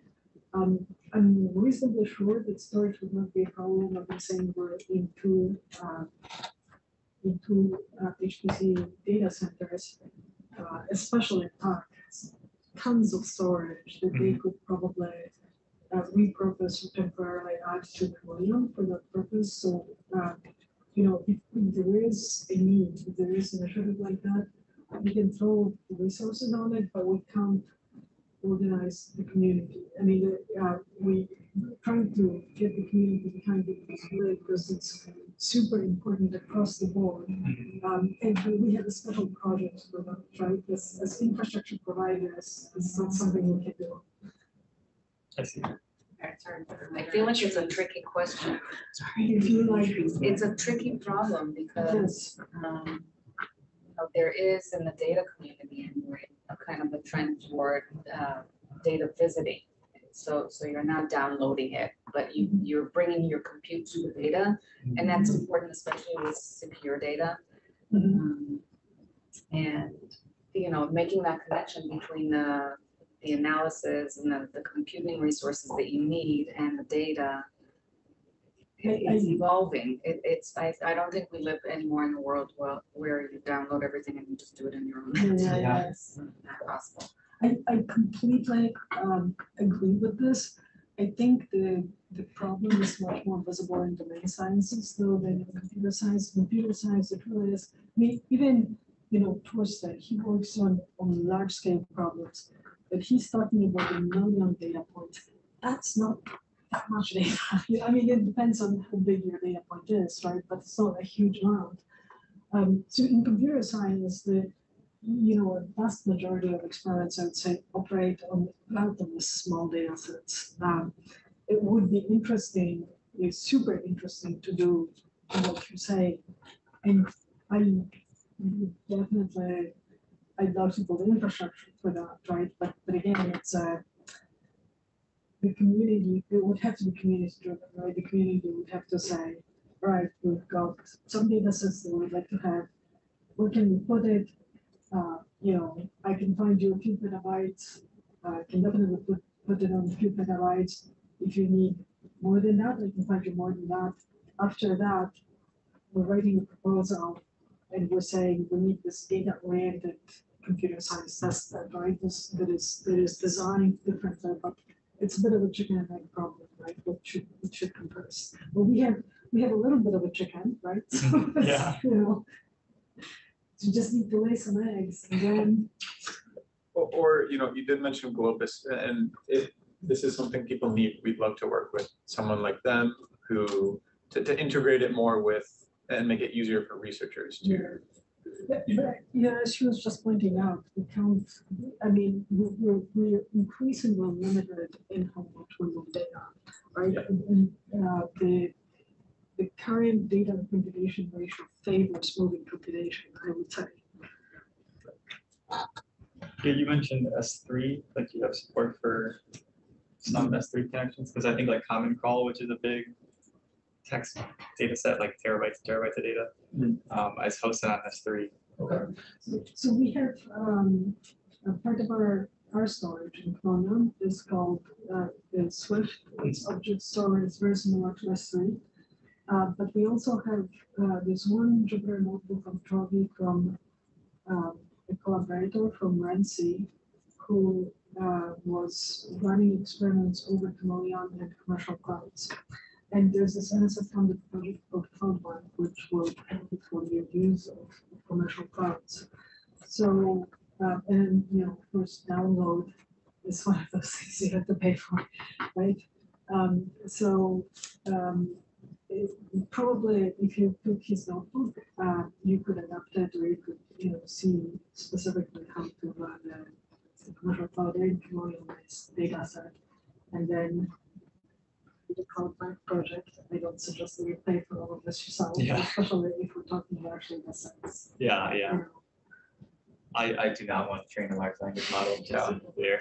Yeah. But I am curious about how Yeah. the platform, uh, Yeah, maybe it would be good to point out on our page, there's about and papers and uh, this one down here, overcast, I believe is. what Yeah, you're yeah. referring to. Mhm. Um, So that Jupyter Notebook is just a um, reproducible overcast. Okay. And then uh, I'd also like to point out the used in research tab, which shows all the things people have done on Chameleon, and this is the six hundred. Uh, uh, how many of uh, citations are Six there? hundred and thirteen papers. Yeah, so Last counting, but that was like two months ago. yeah, there, there's a lot here that, uh, you know, we're happy to show off, so. Um, So, so I just understand, so those papers there, you can reproduce in, in Chameleon, more or less, uh, or have they used they Chameleon? use- use us. they use They- more. They mentioned that they use us. Yeah, they Okay. don't include our papers. Our papers are under a different tab. Yeah. Um, there's something else. There are papers about the system that uh, we have done in our group, right? These are papers from our users whom we, for the most part, you know, we don't know the personally. Okay, I see.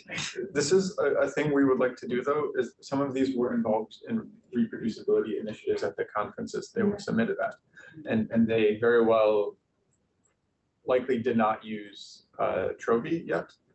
Uh, and so they live elsewhere, but we would like to, you know, highlight which, which of these have that. Maybe create another page of, you know, reproducible papers on Chameleon, something like that, but that's, Um, so maybe I can talk just a bit more about the other things we have on, to show off what else is on Trovi at the moment. I mentioned we worked with some storage researchers at FAST. Um, and they have created this, oops, let me go back, uh, this simple benchmark file system. And like the power management one, this is what we like to call an experiment pattern in that it isn't reproducing the results of the paper at the moment, but we hope that it can lead you into something you can copy and paste to run your experiment or similar. So uh, I was talking to them and they shared, you know, here at this paper, at this conference, they just need something to run uh, these standard benchmarks. And they talk about there's this commodity tool, FIO, uh, which uh, exercises storage IO in various ways. So this group has uh, created this experiment that you can, like what we just did with the power management, you click play and it hopefully works without errors. Uh, you don't have to really interact with it. Uh. Yeah, I think it is here, but if I go to the analysis, uh, we can see they've collected some sample data from these commodity benchmark tools uh, under an uh, Linux file system. And if I'm a storage researcher, maybe I want to take this. I can use the same exact experiment setup in the experiment workflow, uh, but maybe I need to add a step to use my novel file system or, or something and compare the results.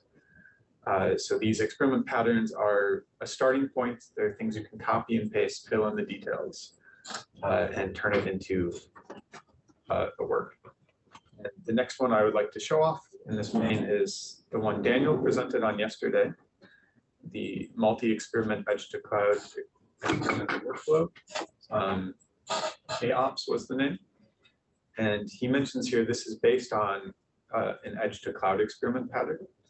And he has extended this to make it work with other test beds, showing that you can uh, run the same work on these various environments, not just Chameleon.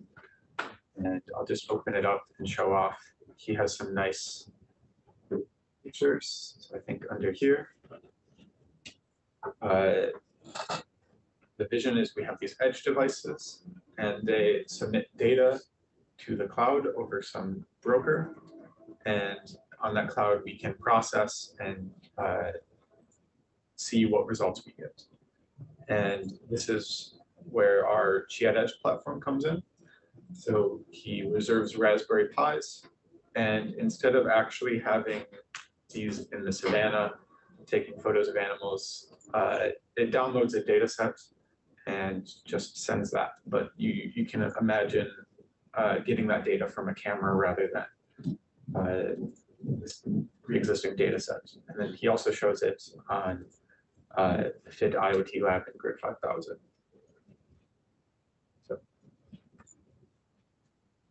Um, and then maybe I can mention, so, so this is uh, an experiment that you can reproduce now with, there's a link here.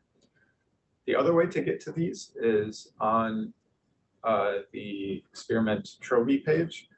Uh, you can just search. So I can search for that multi-platform edge to cloud experiments. And we're also tagging these. So people have assigned reproducible research to their artifacts that are trying to reproduce something. There, uh, Daniel's experiment comes up as the first one.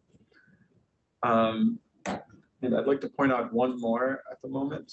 Uh, this reproducing Tacotron 2 qualitative claims. Uh, so this was made by one of Fraida Fund's students, Priyanka uh, and Chandra. They uh, are very familiar with the CoLab uh, environment, which I don't know if people here use at all, but it's uh, Google's way to package their notebooks. And they have the advantage of being Google, they're very large, and so people use that and uh, especially machine learning people like to, you know, uh, share a notebook easily with that. And in their environment, you can run it. Uh, provided you have access to the GPU requirements that this uh, these notebooks require. So if I launch it, and I think I launched it ahead of time. Oops, it timed out. Let me relaunch it. Uh, their notebook here has a citation. Uh, and what they're interested in is running this uh, researcher's uh, machine learning model and comparing what the output is to what they say it is. So this may take a second, but uh, I wanted to point out that this is a little different than what we saw earlier, where I'm using Jupyter to orchestrate the resources in a Chameleon server. Uh, now I'm using Jupyter to orchestrate the resources in the Chameleon server in order to run a Colab runtime. And this is something, uh, it's a like service you can connect to from your Colab notebook uh, to add resources to it. So Colab, you can either use like Google Cloud as a backend, uh, or with this method, you can use uh, Chameleon resources as a backend, rather than if you don't have, you know, Google credit that you get through your institution or something. So, yeah. Trying to switch to the tab, but Zoom is uh, blocking.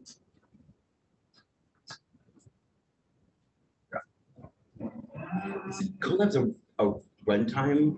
So or like, is it a full container? Or, Uh, so Co- Colab is, yeah, actually, and let me download this because I'm not gonna do it myself, I'm just asking. I was. So let me actually open it because I think I didn't scale up our Jupyter Hub in anticipation of this. uh, Of me launching a bunch, so it's slow right now, but this is the notebook I believe that they're using. Uh, Ah, yes. and it does have a web environment here. But when I want to go run it, it'll ask me to connect to something. Okay. And I, c- I can either have it run on my laptop, but it's gonna be really hot, use all my battery, and I don't really have a great GPU here. So it's gonna be slow. I can get, connect it to a Google Cloud VM, uh, or I can do a hosted runtime. And here, uh, it'll ask me, I think, to input a URL. or- Service owns or, like a service actually- wrapper around a notebook. Yeah, so actually it is this local runtime backend. So it, it's installing the server on Chameleon's resources so I can run this notebook uh, on these powerful nodes. Nice. Okay. And what I'd, I'd like to, you know, point out that that is a really cool way to use things people have already done. And I was kind of going to end this part by saying we have all of these various experiment patterns that show off different parts of Chameleon. And I would be happy to show more. We have some of these interesting things to reproduce. Uh, and these can all be great ways to get started, uh, packaging an experiment in Chameleon. But in terms of, you know, I want to create an experiment, maybe I don't have one of my own. What can I do? Uh, people were talking about papers with code. Uh, you know, you, you can take these things people have shared and make it so they run with one click on Chameleon. Um, or this idea of connecting a Colab runtime.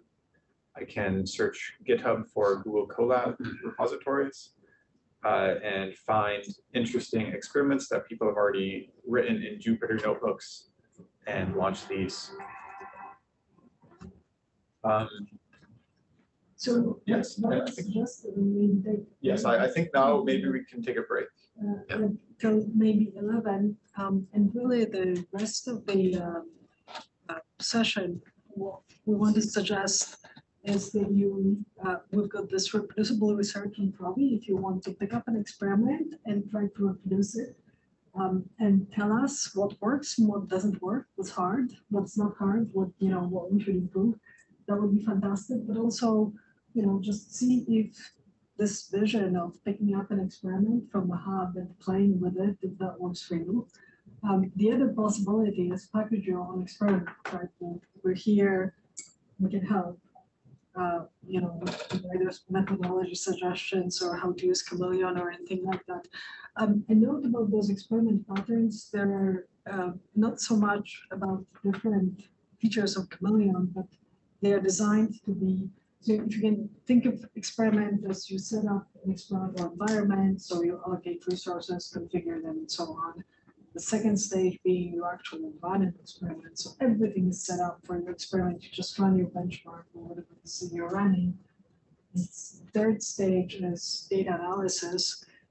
These experiment patterns represent that first stage, you set up an experiment that does in, in a specific area right? So uh, you can you can treat them as maybe half of an experiment already there, and most of them also have those benchmarks in it. So this FIO benchmarks will not just set up sets up the storage experiment for you, but also runs the benchmark and does some data analysis. It's not necessarily connected to a specific paper because it's been developed to uh, be kind of a cut and paste experiment pattern to help people get started um, writing their experiments or, you know, different ones.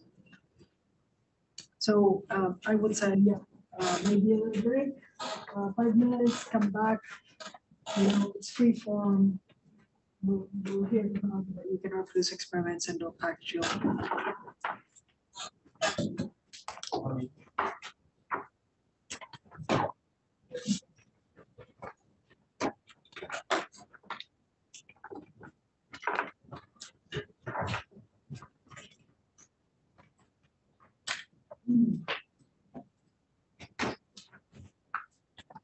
Such a disappointment. You have- don't have hardwood to do I this. know.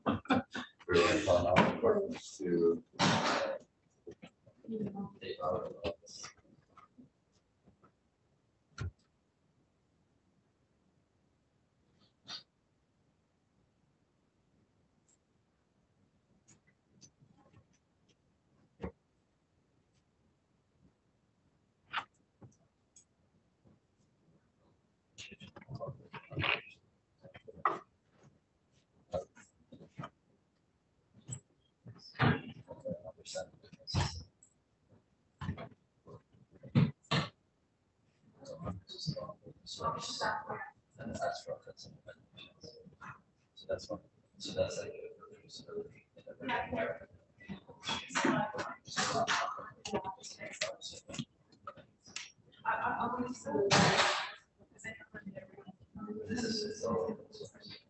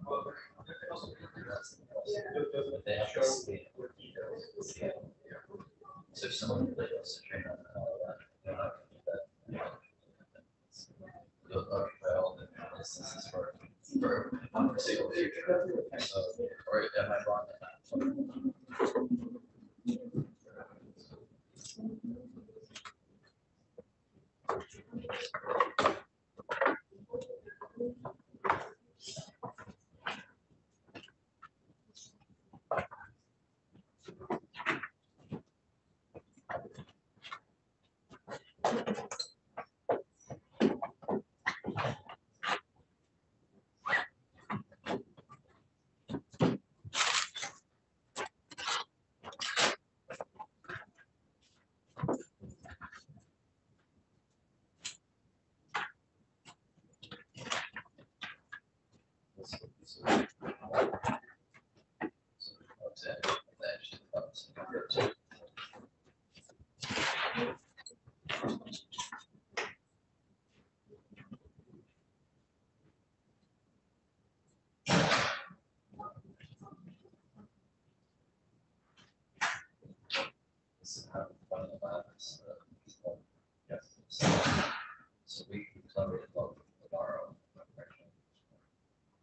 source. Uh, they only open source. Everything they use.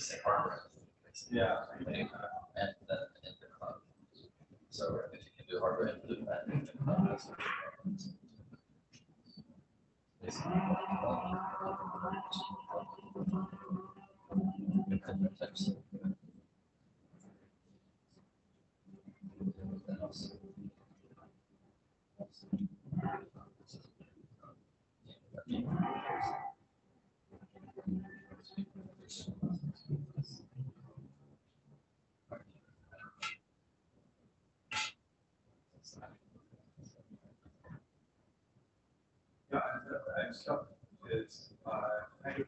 So don't provide us with a level of uh, the that we're getting at. I said that's yeah, yeah, that. So that works for certain aspects of that issue, like uh, some of the artists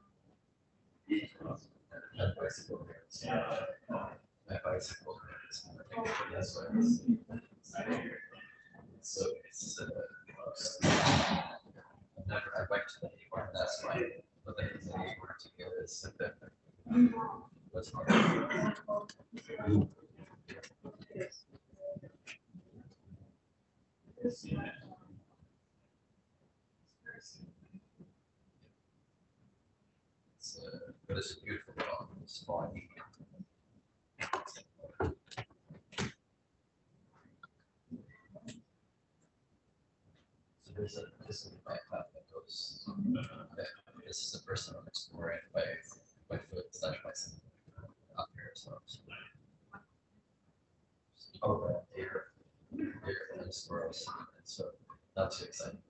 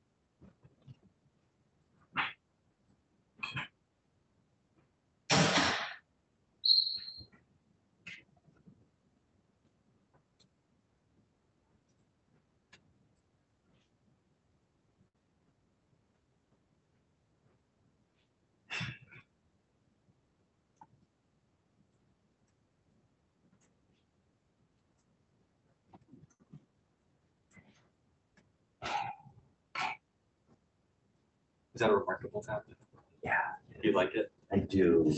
I, I even got the new, the new keyboard because of how much it's been kind of transformative. The, I, I got it as a gift from a friend because he didn't like it. Hmm. So I started out a leg up, like having, didn't buy into it, so I didn't have like too much invested, but. Um, yeah. The, the- I guess this is a different path in my brain, and part of this is because, I mean, a lot of us came up, a lot of people came up with using keyboards to do stuff, but it was, I was in journalism and creative writing. And so in high school, I was doing journalism and I, in the eighties, and I'm doing desktop publishing as best as we, we literally were printing and cutting and pasting onto paper. so I did the printer stuff, but I was always very much in the realm of, I'm, I'm an editor and a writer, and so when I get on the keyboard, I- the flow is very different. Hmm.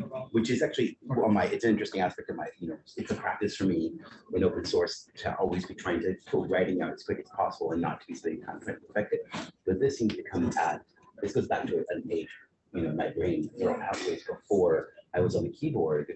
And so, it- so as a writing pathway for writing your, writing all kinds of things, notes and stuff, it's turned out to be really fantastic. And then to be able to, to, to sketch an idea based on a conversation and then send it to you and then we can talk it back and forth until it's correct and then have that converted and then spend the effort.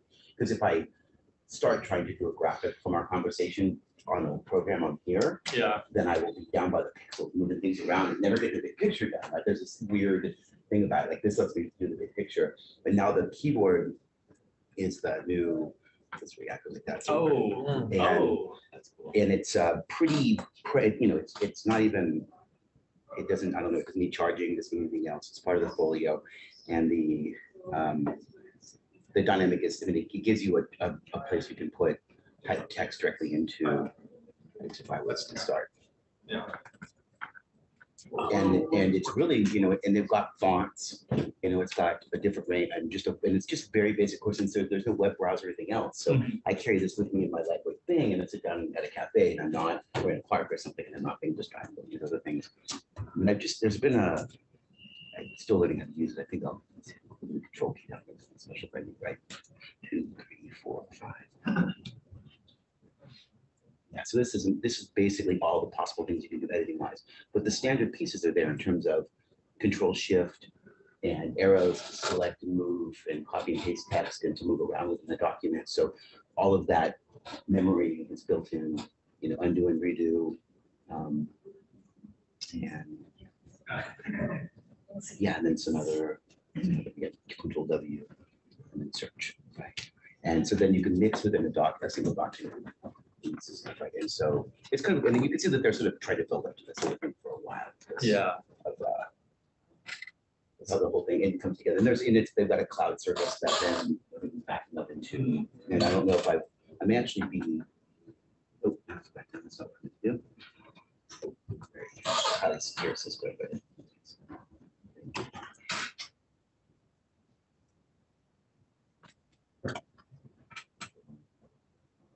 Actually, yeah, I don't think I have. a-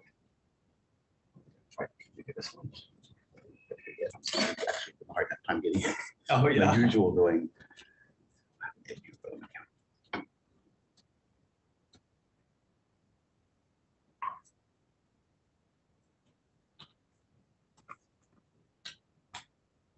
So maybe um, I could also introduce just quickly. Uh, so, so people are, are, fr- would, are free to explore a- any of this. We'd love to uh, talk about it. If anyone has any questions, uh, how these things actually like get packaged and made. So there are a few options here. Um, so if I, uh, from the main Chameleon website, there's the internet tutor interface. And that brings you to our hub and hopefully loads great. And here is uh, kind of, it's kind of like a VM. You know, I have my own little environment with a file system. I can get a terminal, I can install libraries or whatever software I want. Um, I can create these directories and uh, we have an interface to package these uh, artifacts. So I have this directory here called AlexNet with some, I, I was taking that work a student did, I, I mentioned earlier, and trying to update it because it's been a few years. Um, so if I want to actually, I haven't 100% finished it, uh, but for the sake of example, I can show how it works. So I can click, I can right click it and do package as artifact. Um, and we have some idea, guidelines sort of of what should happen or what, you know, this ideally should be. We have a link to our documentation, which explains everything in more details and tells you everything you can do. Um, but it'll ask you for some metadata. So I'll say, this is my AlexNet demo. A short description, this is a demo artifact. Um, it's still a work in progress, but uh, that's okay. I can give it a bit of a longer description. Uh, this artifact reproduces and then, you know, explain in detail what people might be, why they should be interested in this. Uh, I can make it private or public. I'll just leave it private for now, just to not confuse anyone who's looking at it maybe, since it doesn't exactly work fully. Uh, I can add authors here. I'll just add myself as the only one. And then I can upload. Uh, it basically just zips uh, files I have, uploads them, and then it says it was successfully packaged. Uh, click that link there and it'll take me to my artifact. Uh, there are a few more options here. I can, since I'm the owner, I have this share button and there's some more options. I can publish it to Zenodo to get a DOI. Uh, there's a private link that, uh, since this artifact is private, I can share this link with people to see it. And then this third section here is uh, enabling day pass.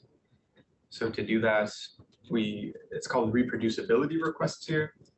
And Kate was talking about it, but the idea is somebody who has never used Chameleon before. So let me go back here to the bare metal experiment pattern. Somebody who's never used Chameleon before, they won't see this launch button because we haven't given them an allocation, but they may be interested in still running your experiment. So instead you can enable this request day pass button. And it'll ask them to enter some details and, you know, leave a comment so it doesn't seem like it's spam. Uh, and this will go to the author of that artifact as, and actually I think it goes to their PI. So the author may be a PI or the author can delegate someone else to receive these emails or, or the PI can delegate someone else if they're busy, but uh, we're trying to preserve some chain of uh, responsibility. And they'll see that request, they can click approve. And uh, in this case, I'm the requester. I would get an email back saying you were approved for a day pass. Click this link to join a chameleon allocation for X number of hours. Uh, so that is the day pass idea. And the, the day pass does not count against their, Uh, yes, it- it's a, its own separate allocation. So, so this project, if I enable day pass for it, th- this artifact, uh, it'll give me a one thousand SU allocation, just making sure people don't mine a ton of Bitcoin in a few hours. Yeah. And, uh, uh, yeah, it, it, it'll be separate. And we are hoping people use this more. So if we have to impose more limits, maybe we will in the future, but for now, we just want to encourage. Yeah, so the pass is, is a pilot at this point, Mhm. and, you know, which means that we don't really understand what the pitfalls are. like, uh, Generally speaking, Chameleon is organized by delegating responsibility. So when you get a project, a Chameleon SPI, responsible for the good behavior of the people on your project, right? Um, so you're responsible for making sure that nobody mines Bitcoin, right? um, or allow, you know, configures their instances in such a way that the configuration results in somebody getting hacked and somebody Bitcoin, right?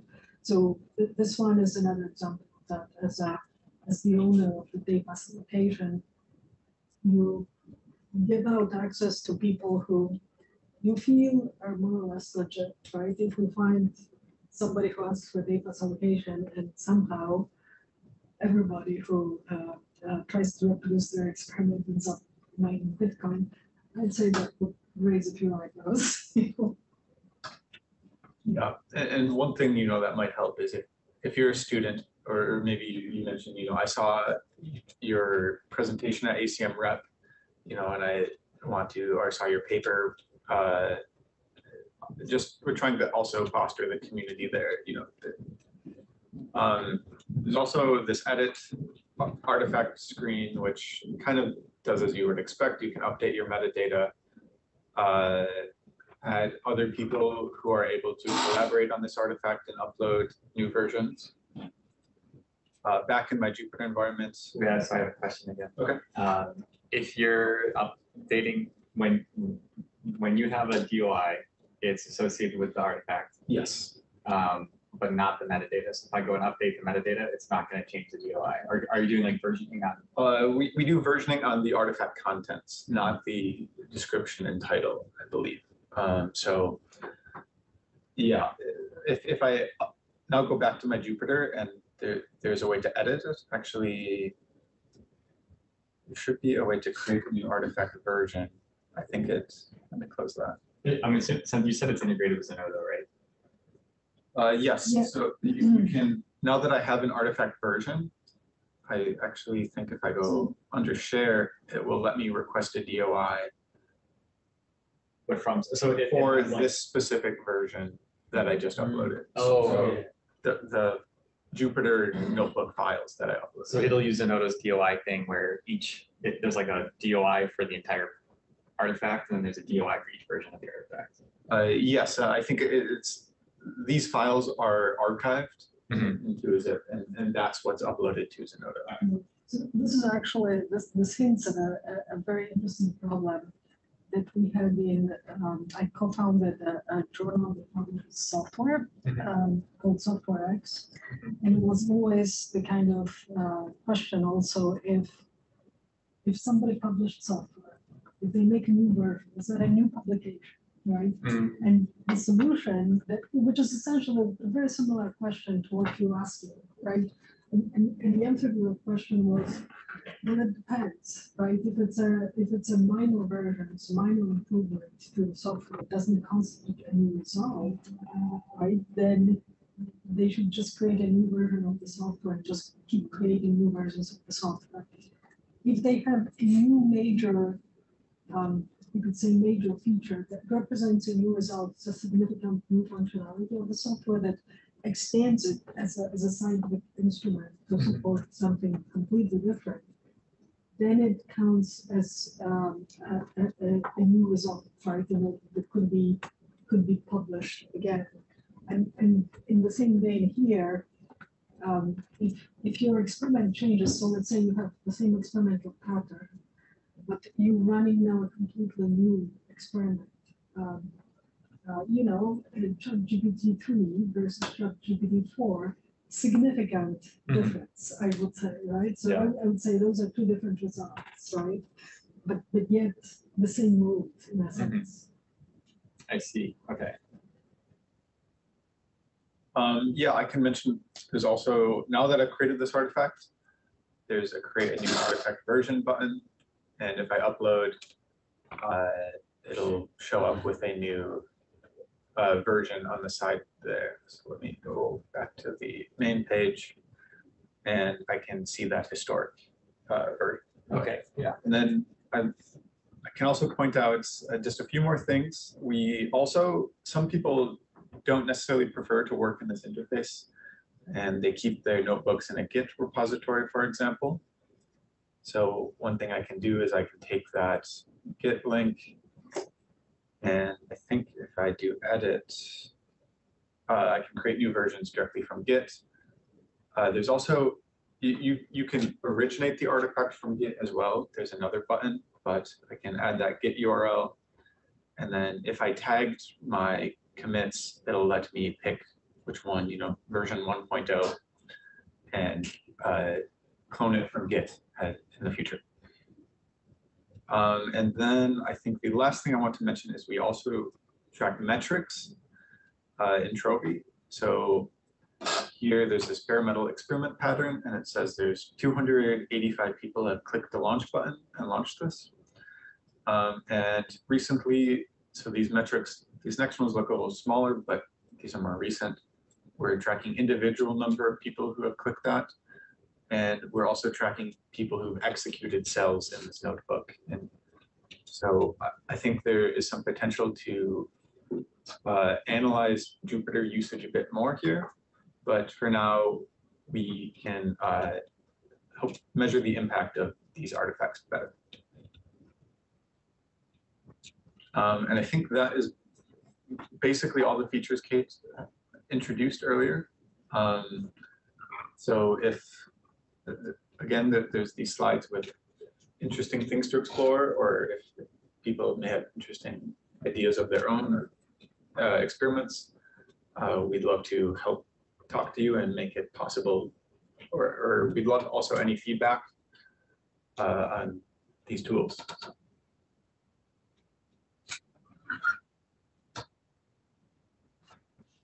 When you've done, like, I'm running the bare metal experiment pattern Okay. thing. Ah. Is there a way to say, you know, I know for sure I'm done, I'm gonna release these resources? Yes, I, I did notice that we should create a new version because that one does not have a delete cell at the end. You wouldn't, you know, Yes. Uh, So the fact that you have to lease your resources, when your lease ends, it is automatically cleaned up. Hmm. So uh, a good practice is, you know, set that for a few hours. If you, this bare metal experiment pattern, you can run in half an hour, including the setup time. So that lease could only be half an hour. to- uh, Or to be generous, it can be two or three hours. Uh, And that should minimize uh, impact on other people who want those resources. But uh, yes, we, we do also have this Python interface with ways to delete your lease, uh, just to be explicit about it. Mhm.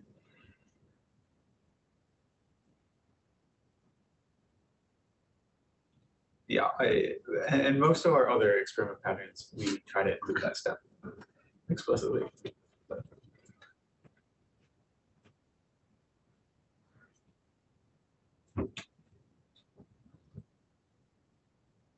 One, one note, uh, Mark and I will have to leave at eleven forty-five, a couple of minutes before then, to run to the airport. So We're gonna be here for another twenty minutes.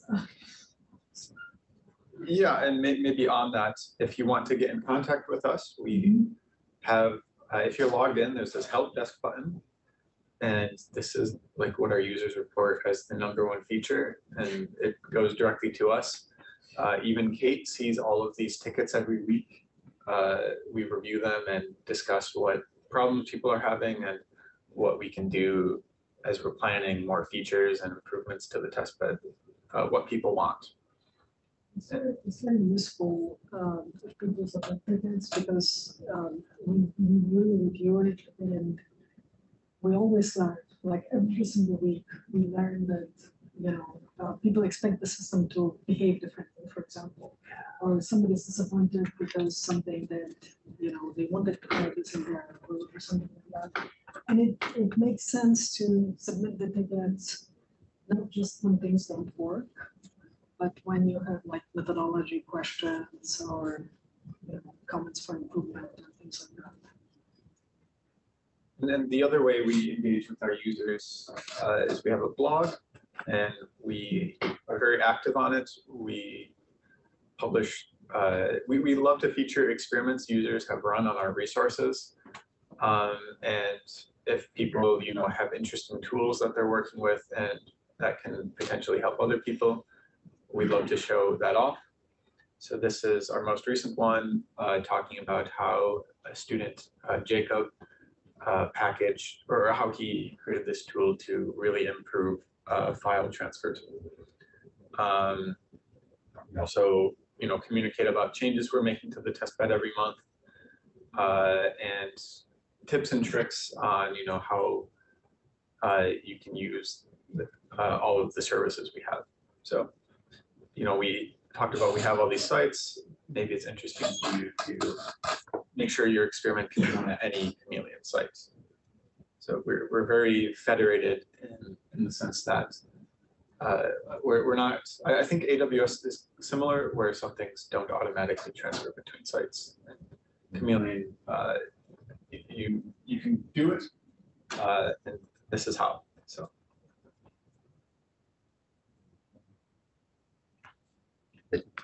So that might be, I might, got a, you know, I've got a topic that I'm curious about that's, that's a little bit. Sure. Anyways, but it's back to what I was talking with you about at lunch. I think it was lunch yesterday. Yeah, so, um, and so I think kind of I'll recap for, for Kate and the rest of the room, but, um, just curious about, about, you know, we're, we're starting to get to being service providers for research, right? And I have a mm-hmm. relationship with a, a completely different research cloud that's doing similar and different things, right? Mm-hmm. And, and which is not uncommon in the research space. I mean, that's part of being a spawning Yeah. things is great, but but there's also this dynamic that we're getting into where the the the cost of the underlying cloud platform becomes this limitation that everybody's running into. Like we were, we're, you were telling me a story yesterday about about power outage dynamics, and and I was telling the story of Orran Krieger told me that that it, in the the mass open cloud they actually turn off. They have a power, um, a planned power outage in August of every year of four days where they do systems work.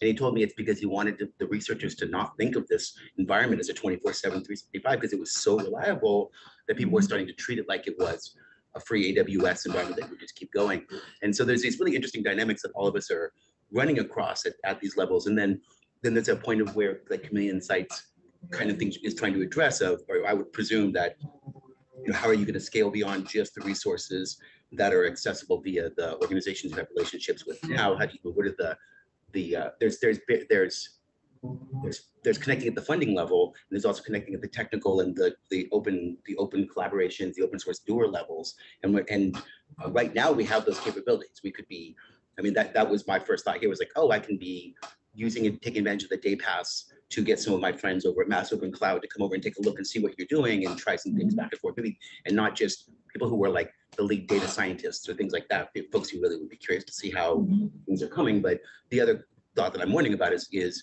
you know, is this the, is, are we getting, is there starting to be a critical mass? And is this, and this is, in- especially in anticipation of what the federal funding might be towards an- a nationwide effort? And if there's something national that's gonna be coming or that's gonna be happening, and there's some indications that maybe there is, right? Then, then having us begin to get together on the grassroots level and start to have those, those grass tips conversations between all the PIs and everyone in the different, um, well, I mean, you've, yeah, yeah. So, you know, that- um, that's what I'm curious about. It's like, you know, is this the time for the starting of, of that? And, um, uh, and is there, you know, is there energy for that? And what's the, what's the, what, maybe what's the venue or what's the dynamic to do? Yeah. Well, I think that this is something that, uh, to, to a large extent has been going on for a while. right? Where, uh, so we- we're talking about, so first of all, people are talking about the national. right? And uh, Yes, okay. uh, I think this is going to be a cloud, I think it's part of the Yes. depends on the definition of Yes. cloud is, right? Right. So did you have an error when you Yeah. ran the So session? supercomputing people, like cloud looks very different, for example, than to me, right? Right, I guess for them, it's just this. Is this, the uh, next one is things where I and would. jobs too, Ah, uh, taking around and it's gonna have some place. Um, I think that clouds like, like Chameleon, um, there's, there's a spectrum. Clouds like Chameleon, there's the, of course, the CloudBank project, there's Fabric, which I would argue is a cloud as well, in, in the sense that it's got programmable interfaces, right? So it's sort of network. Um, you know, there are, there are sort of more esoteric clouds, just that there are more, um, there's actually a surprising number of um, of more baseline clouds that just can do, you know. Um, there, every institution seems to have clouds, cloud deployments like that, right? So it's, it's quite interesting to take access, and then, you know, and then you go progressively towards sort of more streamlined and more production. Kind of the most basic so when one. you say A lot of people. what do you, what does cloud mean to you? That's a, and I have, I tend to have an expansive viewpoint of, of, of, of it in terms of it being, you know, what, I- I'm willing to use the con- cloud in the conversation for somebody to, you know, uh, well, let me, let me go back from this. I, I mean, I'm thinking about research clouds in particular that would be underlying infrastructure, providing infrastructure as a service. Um, open infrastructure i- is my, is where my background and practice would be. So open in the sense of open source, open design, like everything but the secrets are visible. And so, uh, so even being able to get the, the telemetry down to the bare metal, and, and not just like you can just put a tap into and get to pull it out you want to, there's gonna obviously the, the organization around needs to do some work to make sure that the privacy is taken care of, anonymity is happening, certain things are happening, but then being able to provide that sort of data.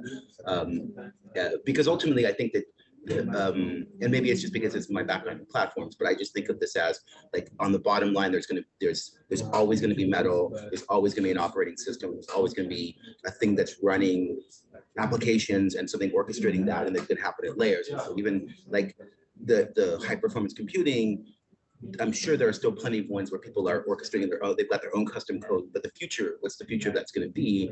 And the, the, and, and, and I guess it depends on your performance character. Anyway, I don't wanna get too far down that.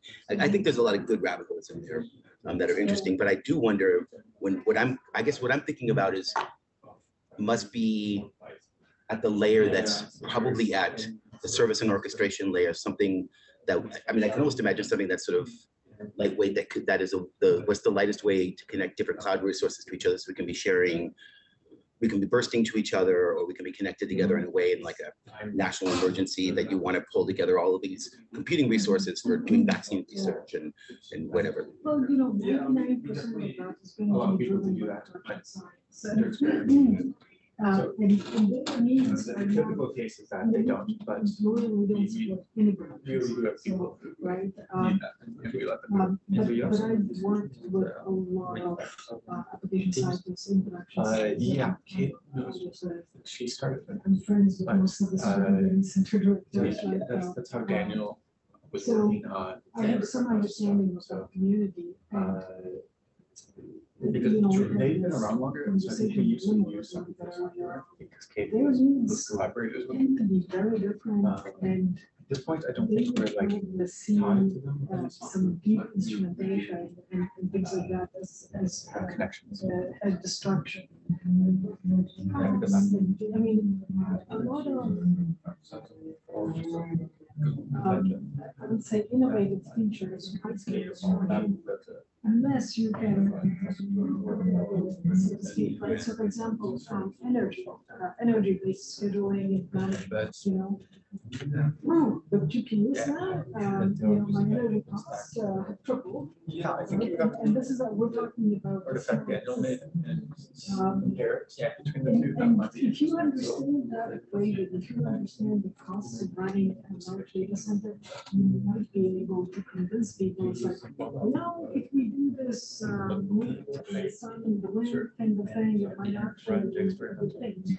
And there is, Uh, there is a way to do it, there are actually. Oh, mechanisms to do it. So I, I think steps of like Something what like command that you need to might run be possible to make a case to, for. uh, Um, allocate the resources, I would say the time is. uh, create your node Yeah. You know, but you have to may be different, but once, once you have, you know, connection to the resources, What they would, Uh, like, hopefully, they would look for, it, and put them with business case, right? We give you this, you give us I that. I would expect. It's, um, So, of the truck. the, the ninety-nine percent Yeah, so is, another thing is, it's we have the some needs are things that scale. work on like uh, Needs are dynamic, uh, so we're talking about, multi-cloud artifact would do this, or we have another one for networking.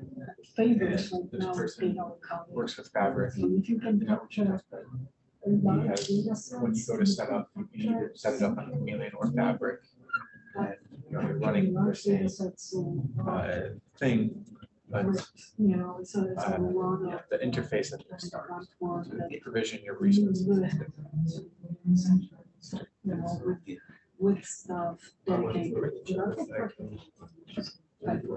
So, um, Or two, or three, right? So, um, so, uh, I think, I, I think that this kind of situation like AI resource, something like that, is the kind of the, that phase. We have some. to with the download. people who can demonstrate their own work in those communities and understand their needs and can Um, solve we, we don't them have, in the limits simplest as far as I know. most effective way possible, because both those communities and the sponsors. at each, at UC, uh, storage in general to use, uh, Either takes a people little aren't using or, it uh, you to the point where we're afraid. Yeah, no, this is interesting for that one. So I, I think. Right, Yeah, yeah, well, I I don't know which one. So, We um, could make, uh, so I think, I think that would work, Um, and if we do have limits, we s- you know, I, probably I don't could, right? know if there is room there for, for being very fast. But the test bed space, the test bed space, you know, like Cambodia or, or. Yeah, I mean, that, I mean, that's, and I think it's, I think the, the New England Research Cloud and the, and it, it- it's, it's production for researchers and students in, in New England, right, at that level, so they, I mean, they consider themselves a a research cloud and, and not, are not providing a service level agreement and are not acting in, in any of that kind of mode, but it's, it's, um, um, God, I'm curious about the, well, okay, yeah, no, that makes a lot of sense what you're saying, because it, I mean, it really has, it's really, what this has to do with the layers and who, and which, um, Yeah, yeah. I, I do think we should have very high bandwidth connections, especially on, because I think, I'm I'm realizing there's a, there's another layer in which we're all, we're all getting together around, around the open source tooling, and that's mm-hmm. another, this which is experimental- a middle place that, that as, that as we, as we standardize on things like Jupyter notebooks and using, you know, and, if- and, and when, and when, if we're careful about services that we use, that we're not, we're, whether it's a GitHub or a Colab or anything like that, what, what, you know, Uh, and I, but I think he might have been using S are replaceable, so that we're not caught out, caught out of this, if and when this go away, I would expect Yeah. or become controlled. to be able to do similar with our object store located in this, uh, uh, I'm not aware of the number. Some open source thing merging, it makes sense to just use it and not bring that. uh, And, and I would say. Some of our, not reinventing the we have the various networking adapters, and I'm sure That everyone wants to. it might be buried in our blog of like, uh, how fast people transfer. Yeah. I think that Now that would eventually become. Yeah, Sort of that's in a a good- yeah, sense, that's a it good then way to put it. becomes survival. Oh, how's it? Yes, and this is- I, I know, sorry, yes, so, Oh, okay. That's the- so I just wanted to show you this, uh, That is what, Yeah. you know. so that is here you have your something maker a little bit cluster, which is really high performance. So that would be your, like, um, in a, in a, this is a little way. graphics or like universe or sort of, that's. So, uh, and it, you know, I I totally. You're on certain aspects, like computes around that, and then media science or hard. Mine's still But provisioning. that fits it somehow. So they have a higher of Something services. that really exists where- Oh, yeah. So. And, and another area, and then, and then collaborating on practices and principles and ways we do things so that can also make a, a difference. Are you, have you, are you familiar with iScale that just got announced out of, it's essentially the next iteration after Mass Open Cloud and New England Research, out, i So i-scale.org. did you have to just like one set for uh, this computer? Orran Krieger and, and Peter designers. And it's a fun- Okay. These have been some of. Yeah, so So they- they I bring this up as like storage or the DUM and some other Is this it? universities. Yes, this is it. Real time applications, because that, that's a science. And that's, uh, So the Cortex R is one of these that HLD certifiable marker. Seriously. So High level. here in, in Iran that started the, uh, the MOC Alliance, which was not, which what used to be called Mass Open Cloud. And Yeah, yeah. um, so it's all that. some other things. Uh, So, so it's- so how much money is this? this- this conversation, and I can share all That's a good question because they haven't, I think that they were just doing, they were just putting, Or, uh, or for Hmm. in Chameleon. So you can access that, so then you how can. much are they, how much are they asking for? How much are they getting? and Who are they how, how partnering much with? did they get for this center? Okay. Did they That's a get good it? question. I don't know all the details. That is what, it- well, because I, um, that is what, it- And there is a open source, um, I think that they both, I, I, I think that they were, they were, were working on a new, were just actually, um, so Uh, Closing in- Yeah, that, this would be, was it in June? I know, it it sounds kind of. For for the next level of funding. So I'm not sure if this was funding that, gave- okay, that's the board number. If they don't have access to it. Yeah, Uh, exactly. I, we. Since it- it's probably being funded by, out of the MOC Alliance right now. And they're seeking to get, they're seeking to get more funding just for it. Jace. Yeah, I think it's what. So it's, it's, uh, um, Yes, it is, right. And that's been, I mean, that's been, it's been, that's been how, they- that's been part of how they, Yeah. how they grew the Mass Open Cloud, because one of the, I mean, even that right there, Mass, it was a Massachusetts Association, there- there's, the Commonwealth of Massachusetts is like very directly involved in helping things. Are running out of the, the, the Mass, Massachusetts Green High Performance Communication Center. And, and so it has this whole cross connection, but they, they, they, Uh, This. the the Commonwealth is interested in connecting with everybody broader, you know, but they're, and they're, but they're, they're doing it in a long term and a If you policy wanted to test. angle and stuff in there. And they're, I think they're also hoping now that by all of the, all of this grassroots things happening in the open space, that we will all be making kinds of one one and, That's awesome. and, uh, you know, research group to research group connections and then the clouds to clouds. and all those So it's real that will happen. So You know. how- how No, I, I know Peter and around, uh, Measure Are they really that Um, high? well, I, I guess I just know I that. was, um, I was fortunate to be, at- Mike, say Canada, something. Yeah, throw that out yeah, You can run. a Yeah, I was fortunate to get to, to, I was- got to go to the, uh, one of the last things I did at Red Hat actually, was fly to the workshop, where this was all announced. and everything. So I was, um, where I'm the, um, Just send an email to them. the, I'm the MOC Alliance representative for a project that I don't know if Red Hat's funding anymore, because I'm not there when they want it, and it's this whole, either though, it's the whole dynamic of the world of, it's, it's fun when moving around in open, open source is interesting, because like your, almost like your research can be, you know, you take the, you take Also, like. a certain amount of the work with you where you go, and the reputation and the stuff, you sometimes keep doing the same work for somebody else, and so I never know what this is gonna turn out to be. Because it- it's, you know, it's not off the shelf components. So that would. But I appreciate going through, this is, this was great to look at, I've been, and I got, to and part of that shop was get to see, to sit down with their facilitators whose job it is to work with the researchers and bring them up either in open space, So there's another test bed, um, Aura. help them containerize their things, or help them, you know, get the programs going and, and then support them as they're going forth and, um, and, and really how they're gonna, how they're doing that on a social, kind of the, the culture change angle as well as the very practical hands-on how it's all going on. Um, So, so I, I, I have some folks, I'll, like I said, and, and and Matt, uh, just to, you know, just to talk them and show through, because I think that's interesting to see how the, They probably actually know what I'm doing. Probably the most independent site, to manage the control of. Yeah. Maybe. That, that, that's the same thing, yeah. uh, Yeah. The same stack. yeah, oh, yes, exactly, yes. Yeah, yeah, Yeah, yeah. the- yeah, the OCT is, was, yeah, that's part of that. Yeah, but I- I'm- I'm- Um, No, that's Aura. Uh, yeah, there'll be some, there will be this. Oh. here, I think, just- uh, So the Open Cloud Testbed was. So the- the architecture is set in AI, but, we moved this was. Makes sense. Really? If- wow. Yeah, let me take a look, because I, I, What you were showing. Uh, I have a coworker who has worked with them closer, and, So Open Cloud Testbed. other groups do. was that they. uh, to, to use our package stack. Uh, and Yeah. size, and It's- switch yeah, Mark this Powers at somehow, Chicago guy. to avoid my, my Will- museum, at some point, Uh, And I, I can forward that. Uh, dot edu. They do, they've got, yeah, they've got all the FPGA and I think they're running it through the, I think they're running it through the New England. Is- is They, they, they, they put a lot, had to put a lot of effort into getting front, setting, going for the, so that now that's, the got all the single sign on, all for the environment, everything that, but that was like a year's worth of time of integrating that into OpenStack and OpenShift. And, and I think that's probably what happened with, with the Open Cloud test bed was that focus. So, but yes, I will, I, that's one actually I can follow up on because I just met those folks. and I can- Yeah. I will for certain. Yeah, if something's going on. Okay, cool. Uh, So just send all these things here. Yeah, it's just say your time is up and I'm, and I will, uh, put in contact with Mark. Sure. Because I just thought about this. Well, here. It was a pleasure meeting you. Thank you for coming out. Yeah, we, we certainly send you stuff. I'll, I'll look you all up next time I'm in Chicago and come out and see things. Because I don't like, Oh, man. like, I can ship your hardware. Sure.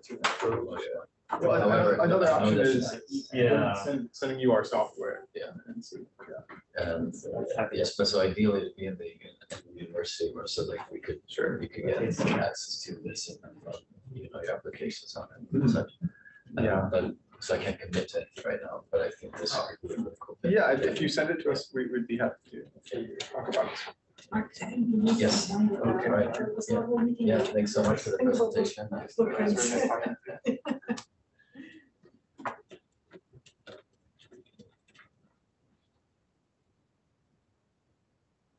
Right, for everybody online, um, unfortunately, Mark and I have to uh, leave. Yeah. it's really I think it's- I think a couple of the, people- well, two of those people are in the room. I think only one person's not in the room. Yeah.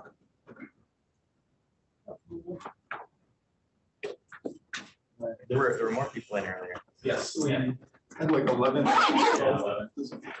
We- Yeah, We're dropped from that conversation. Distracting Kate, so.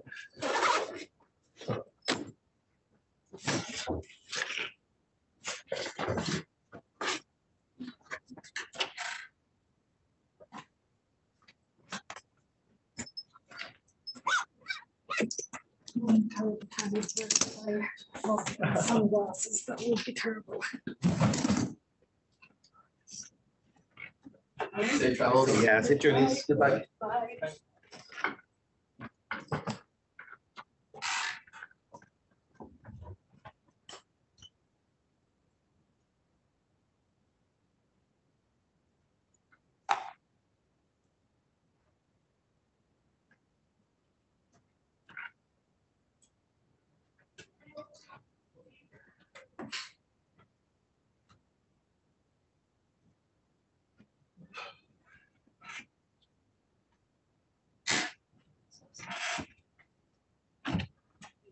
We're probably ready in about fifteen minutes, but we do have some snacks still outside, Oh, yeah. which you've discovered apparently, yeah.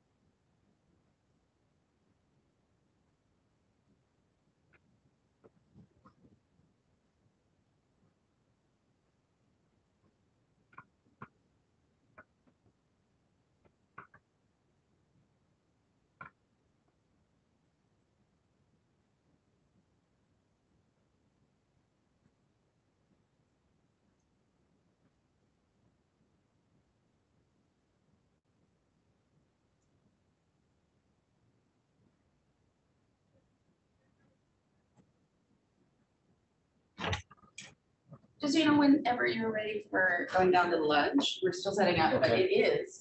Where is it? You go down to the second floor, Yeah. take the elevator down or walk down. It's like on the outside, just of the building, Okay, that just so you can walk along the the pathway, you'll see yeah. I'm just wrapping up an email to, oh, Okay, to Kate and Mark. Yeah. Yeah, no, right, I'm Did you say literally, what's outside? it's outside, yeah. Oh, wonderful. And is this still on? Oh, you know, I gotta change. All right, whoever is on, if anybody's still online, we're actually using a different Zoom room. I'm, I'm Casper. Oh, so- you're yeah, Casper. that's- So I'm, I'll log off. I should have known that, sorry. Oh, no, no worries. I'm just ending it, so. uh,